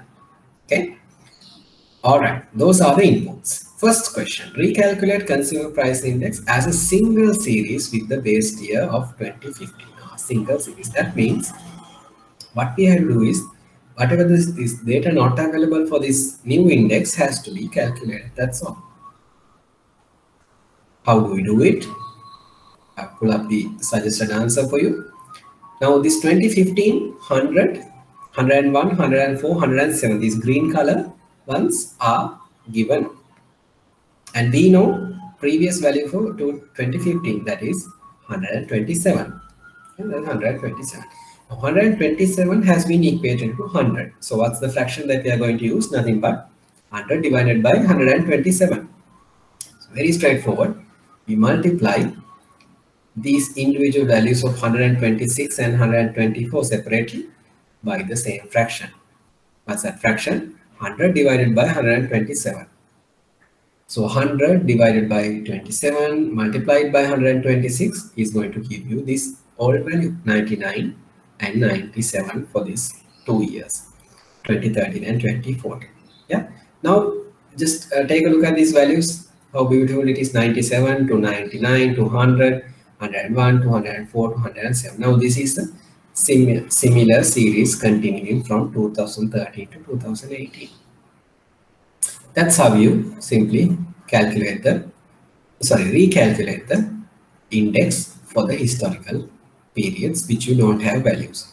Just by uh, taking the values of already available index and taking the starting point of these two indexes, merging point. All right.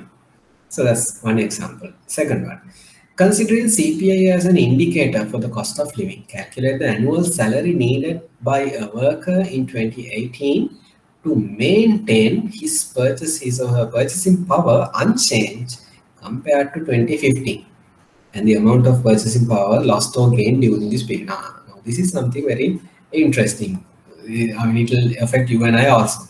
See, now these salaries 2018, this guy is paid 410,000. We have to compare this with 2015, isn't that so? Yeah, 2015. Now we have to take the assumption the purchasing power has to unchange. Purchasing power has to unchange. So this to 375,000, which was at the 2015, with this inflation going into 107, we have to make sure that uh, his salary is being compensated for that. So the first part is simple. We calculate this 2015 if it is equal to 100 2018 is going to equal to 107 this is the index if that is the case students this 375,000 should be equal to 401,250 how do we take this calculation? Just by taking the simple fraction again between the 107 to 100 yeah? So simply, effectively, we are, I'm inflating this. And effectively what I have done here, I'm inflating 375,000 multiplied by 1.07%. Isn't that what I've done here? It's the same thing. Yeah, I'm just multiplying by the inflation. That means I have to get 401,250 to maintain my purchasing power. Fair enough, isn't it? So Inflation adjusted to this level. So this is what is needed, but this is actually what I'm getting, 410,000. And effectively, I'm getting a gain of 8,750 from this comparison point of view. This is the calculation. The, to, to get the uh, purchasing power unchanged, you need 401,000 something. And that is a gain of 8,750 when you look into the actual uh, receipt of the nominal value of the salary. Yeah. Okay. Third one, analyze the salaries paid to workers in real terms during 2015 to 2018. This is where we can easily use that uh, index and uh, the discussion we had. We can use this equation of uh, real salary, uh, nominal salary divided by 1 plus inflation. We can directly apply, directly apply for this comparison what I have simply done is I've taken these nominal salaries of 375,000 likewise up until here and I have taken the index alongside it. Now without any equations I can simply divide this by the index. But um, when I'm dividing it effectively what am I doing? I'm deflating, I'm deflating. Yeah. So 375,000 is the starting point. And I'm dividing 379,000 by 101 effectively I'm getting 375,000 how do I read this number? This is 2016 real salary compared to 2015 starting point yeah 2015 starting point of this index similarly now whenever I'm dividing it by this particular index what I am effectively doing is that I'm comparing this with the starting point yeah not with the previous one starting point so 100, uh, this is effectively what I'm doing. 390,000 multiplied by 100 divided by 104. Multiplied by 100 divided by 107. Once I do this, students, now look at this beautiful connection that I'm getting. This 375,000, although I see it as an increase of 390,000, but due to this price index, what can you see? Still, look at uh, look at the bigger digits, 375,000.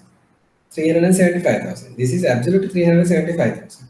But now only here only I can see some increase to 283,000.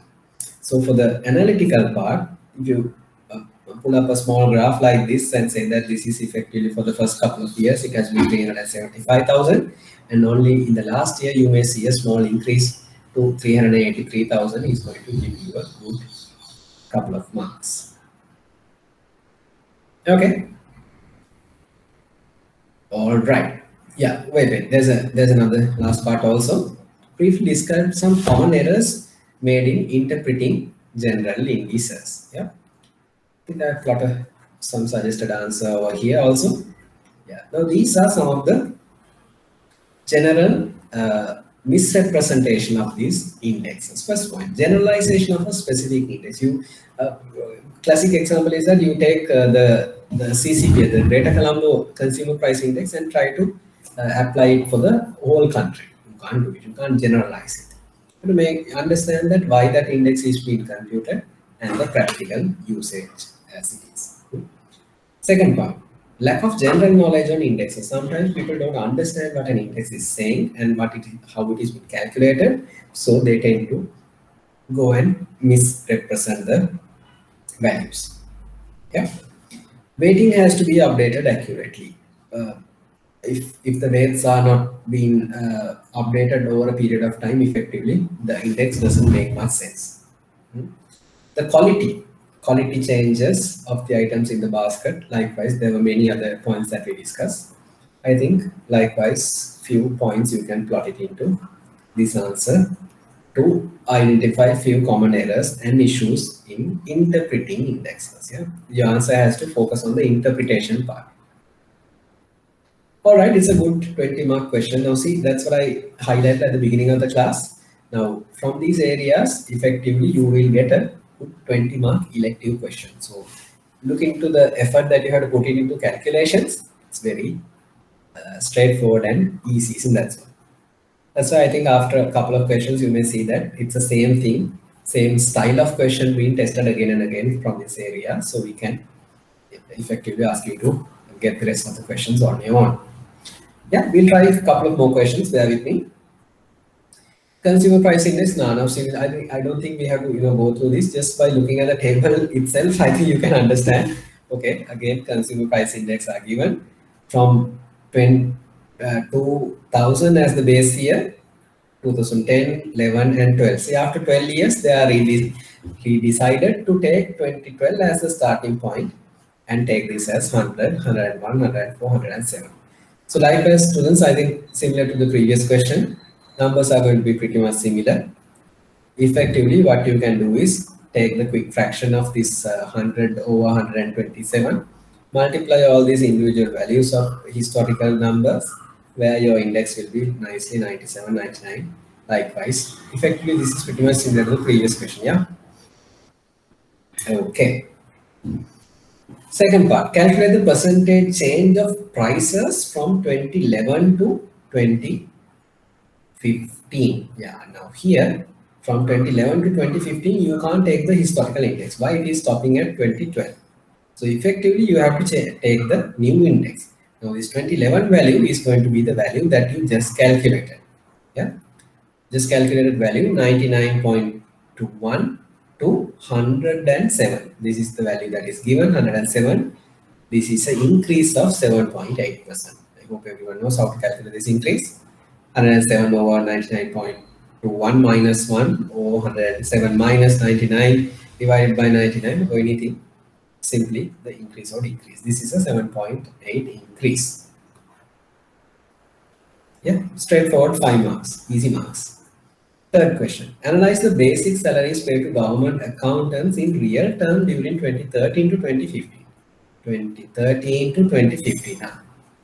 These are the salaries, annual salaries, 379,000, 390, 400 and 1,000. Okay, what can I do? I can easily take the index, it's a price index, inflation related. So I can take these nominal salaries to real salaries just by taking the fraction, isn't that so? 379,000 divided by 101 multiplied by 100, uh, 375,000. Similar argument, isn't that so? See, this 379,000 equivalent to 375,000, this digit has been maintained across. So 375,000 seems to be your salary effectively for the couple of years. That's the analysis output, what you have to highlight. Uh, now the last part is important. See, taking 2012 as the base year, now this is a hardcore calculation. 2012 as the base year, calculate, uh, so, sorry, calculate the uh, value for this consumer price index in 2016 using the Laspeyres formula with the following data. Uh, simple calculation, but you have to be very carefully doing these things because multiple multiplications and additions can make sure uh, one or two things can go wrong and your index is going to be a complete disaster. Okay, so check these numbers. Uh, P0, Q0, you know that P0 into Q0 is your base here. That is where you start. And Qn, do you really care? You don't. Why you, on the Laspeyres, you take the quantity at the beginning. Q0 is what you need. Yeah, so Pn is your prices into Qn is going to construct the Pn Q0. So Laspeyres index is nothing but sigma Pn Q0 divided by P0 Q0. So these two values 161,750 divided by 141 7,000 is going to give you a nice 110 value for the Laspeyres index for 2012 sorry 2060 yeah? So how do you interpret this? This is you're taking 2012 as 100 if that is 100 this value is going to be 110 equivalent. Under Laspeyres index methodology good amount of work for that five marks but be very careful with your calculators. I hope you are familiar with your calculators and you're pretty much practicing it every day. Another two questions. I think uh, we can uh, try few but, this question merely if you look into the uh, computation part of it pretty much coming from our previous lessons of graphs and charts uh, but i would really stress uh, on the first question why the fact is that the first question is very interesting simply because of the fact that your millions and metric tons and these thousands is going to kick in here. Just check this question. The statisticians has collected following data on quantities of imports of major commodities in thousand metric tons. Ah, now highlight this part, students. See, thousand metric tons in a country in 2016, 2017, and their international prices in US dollar, US dollar per metric ton. Okay. So now these quantities, prices, quantities, prices, these are there, these price trends, okay, no problem. You can even understand it, fine. But uh, check the first question. Calculate the values of the commodities imported in uh, 16 and 17 and state in the following format. Present these values in a component bar chart in order to compare the imports in 2016 and 19. Now, what do they really want? They want the value in these years. So that means simply the price into quantity. Yeah. But in USD millions. Now this is where you have to be very careful. Yeah. Check my answer. Check my suggested answer. Now, first part, these quantities are not going to be 70, 140, uh, 60 likewise. These 70s, 140s, 60s, 1400. Now these are going to be converted into thousands, isn't that so? They are in thousands, thousands metric tons. Yeah, thousands metric tons. That means this is where you can easily go wrong here. So you see, thousands metric ton as in I have to multiply each of these by three zeros to make sure it is in thousands. Once that is been done, I can multiply it by these uh, uh, P zeros, that is the price per metric ton, and this is the effective dollar value that I'm going to get. But That's not how they want. They want it in this format. In US dollar millions, that means effectively you have to take six zeros out of it, six zeros. Take out six zeros and take the final answer like this. 16 only I'm discussing, 17 is the same, this thing. See, be careful. You take the thousands of metric tons, multiply, and then again convert it into the millions. You know, kilo is uh, three zeros, millions is six zeros, billions is nine zeros. Likewise, you have to be with the numbers, yeah? So the millions representation divided by six zeros, then you are getting these numbers. This is effectively what the examiner's expectation. And this lovely uh, component bar chart. Hmm? How do we really do it? Once you have a table like it in the top, it doesn't make much sense, but the graphical representation gives you a much, much, much meaningful this thing. Hmm? See, D is the biggest component, the first year, 140. Yeah, see from this color, it, it is still the biggest, but it is declined to 70. It has half actually. Likewise, I do think the second part is also pretty much on an interpretation. Hmm? It's asking for a uh, draw percentage component bar chart in order to compare the percentage share of commodity, briefly prepare uh, uh, what has happened with these quantities and the values. Now that of course, I think students, you can do it. You can comment on whether the values has increased, whether the quantities has increased, price trends, the stable or not stable, what has happened to A, C and D, what has happened to B, what has happened to E, likewise you can do the write-up. But be careful with these two graphs. I think we have discussed this in uh, uh, the second lesson it's a component bar chart and this is a percentage component bar chart. What's the only difference? This is you have to draw it with the percentages attached to it. Percentages. That means whatever you see here, these absolute values, this 31, 42, 30, 140, for, uh, uh, this 31, this addition, let's say this is fictionally 300 or something. So this is close to 10%. This is close to 45%. Like is these percentages only that you are pulling up here in this second graph. Yeah. So from this percentage component bar charts, you're forgetting about the actual values. You're comparing the two imports with the percentages. Still, you can see this is the biggest one, this is the second biggest one, and this has increased. See, this has increased, this has increased, while the blue one has decreased. Likewise, you can comment on it.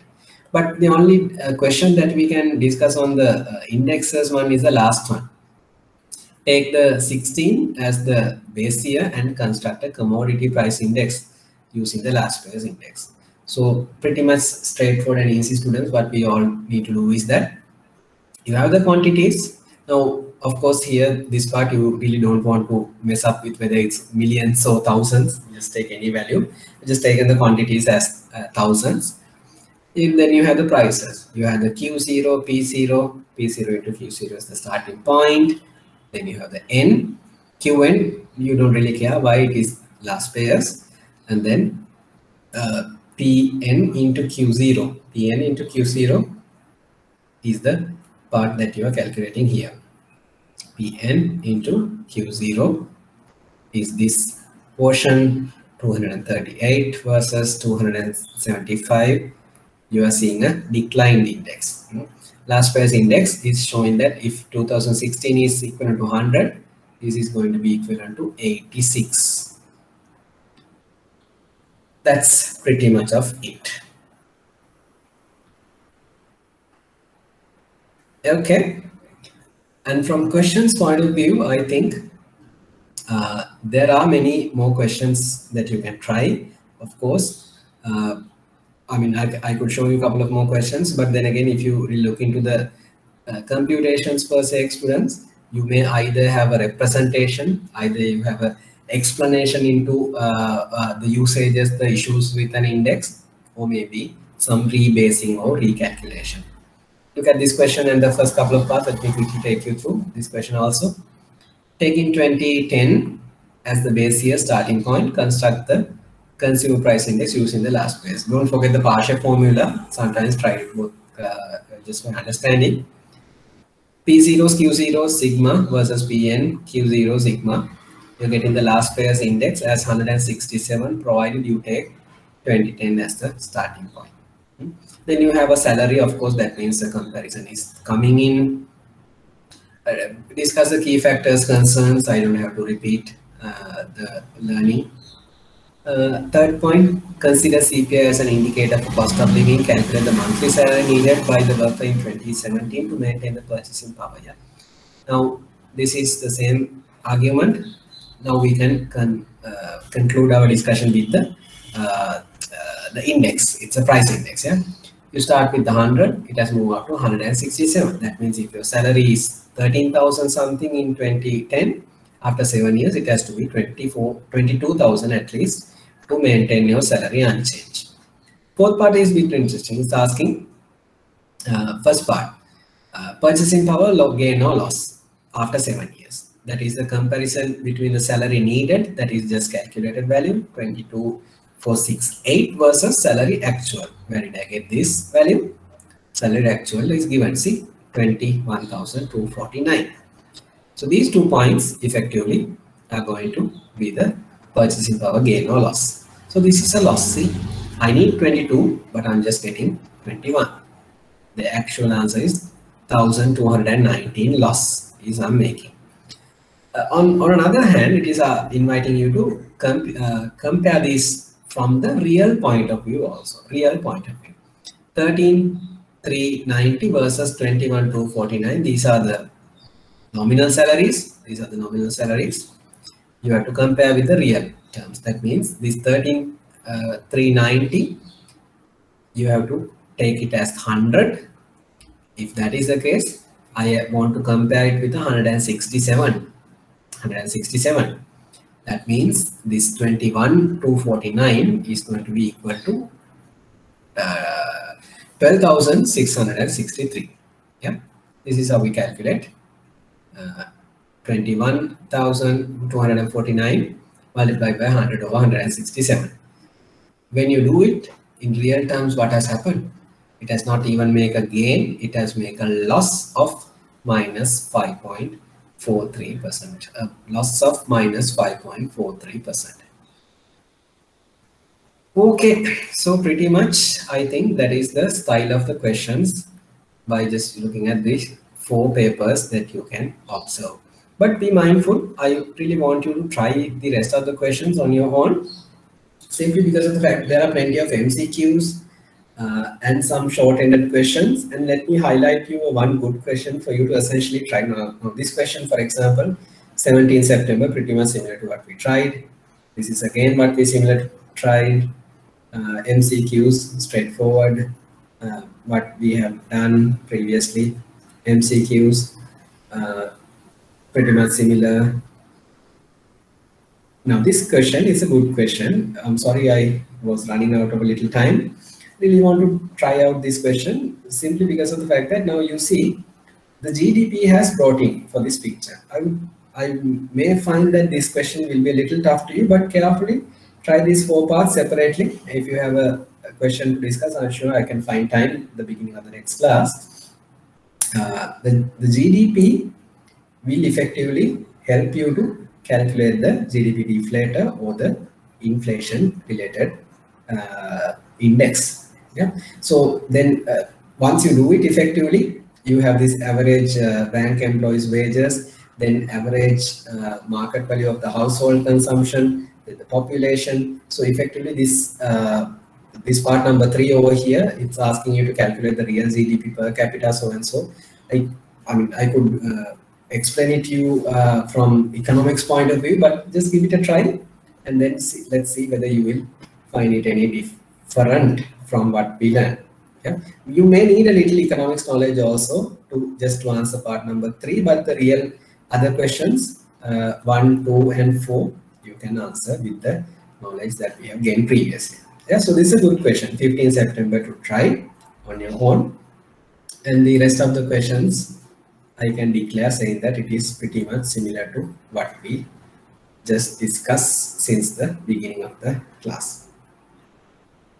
Okay, thank you for the extra couple of minutes. And like any other class, I can stop uh, for any questions for you to uh, be answering. I think you may find this question, uh, the uh, topic very straightforward, isn't it? So the computation per se is only have uh, three aspects, Laspeyres, Paasche, that's one uh, calculation rather, and then uh, uh, rebasing, of course, it doesn't have much calculation, just a simple mathematical equation of maybe 100 to 127 likewise.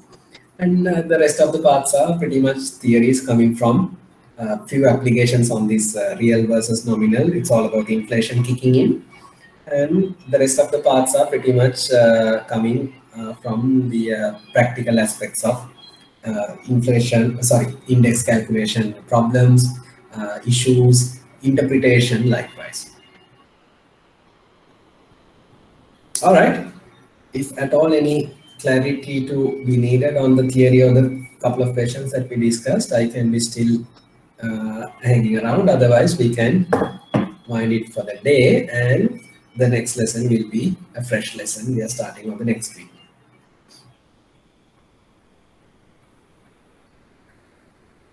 I, I hope two things. First thing is that uh, you are trying the other questions that I'm uh, leaving out because effectively, you know, uh, we are wasting time. It's the same style of questions and nothing much new to be discussed except that 2015 September question paper that I just showed you. And the second thing is I'm hoping you're uh, continuing your uh, practice with the calculator. It doesn't have to be necessarily this model, but with the scientific calculator you need to practice it heavily students. You you don't have the luxury that i have to uh, you know plot these numbers in the microsoft excel and quickly uh, get the answer. So you have to do the hardcore manual method. On the Shehan's question on the exam dates sir i really don't have an answer for that. But uh, things are a bit uh, volatile with this current uh, delta variant going here and there peaks happening, shutdowns are going on. Let's stick to our study plan. I'm sure maybe in another uh, one to one and a half months, we'll be done with the syllabus and then the revision will be coming up. And I will be doing the 2020 uh, one paper with you guys before the winding off of the classes. And I'm, I'm just focusing on my guess will be around in another two months to uh, ahead only you will have the exams but again, it's up to the IBSL and the staff to you know determine the board. Uh, uh, from the lecturer's point of view, we can't comment on anything concrete. But Shehan, let's you know stick on to our routine and uh, try to finish off the syllabus as soon as possible, and then jump on to much more questions and practice ourselves with the exam readiness. Yeah, don't worry, just uh, focus on the, uh, the exam questions that you are practicing at the latter part of every class. That will help you to get through by one go. Any other questions I can still be useful or we can wind it for the day. All right then, all good. Shall we close for the day then? All right, then everyone, please stay safe. Wash your hands always and let's meet up with the next class. Yeah.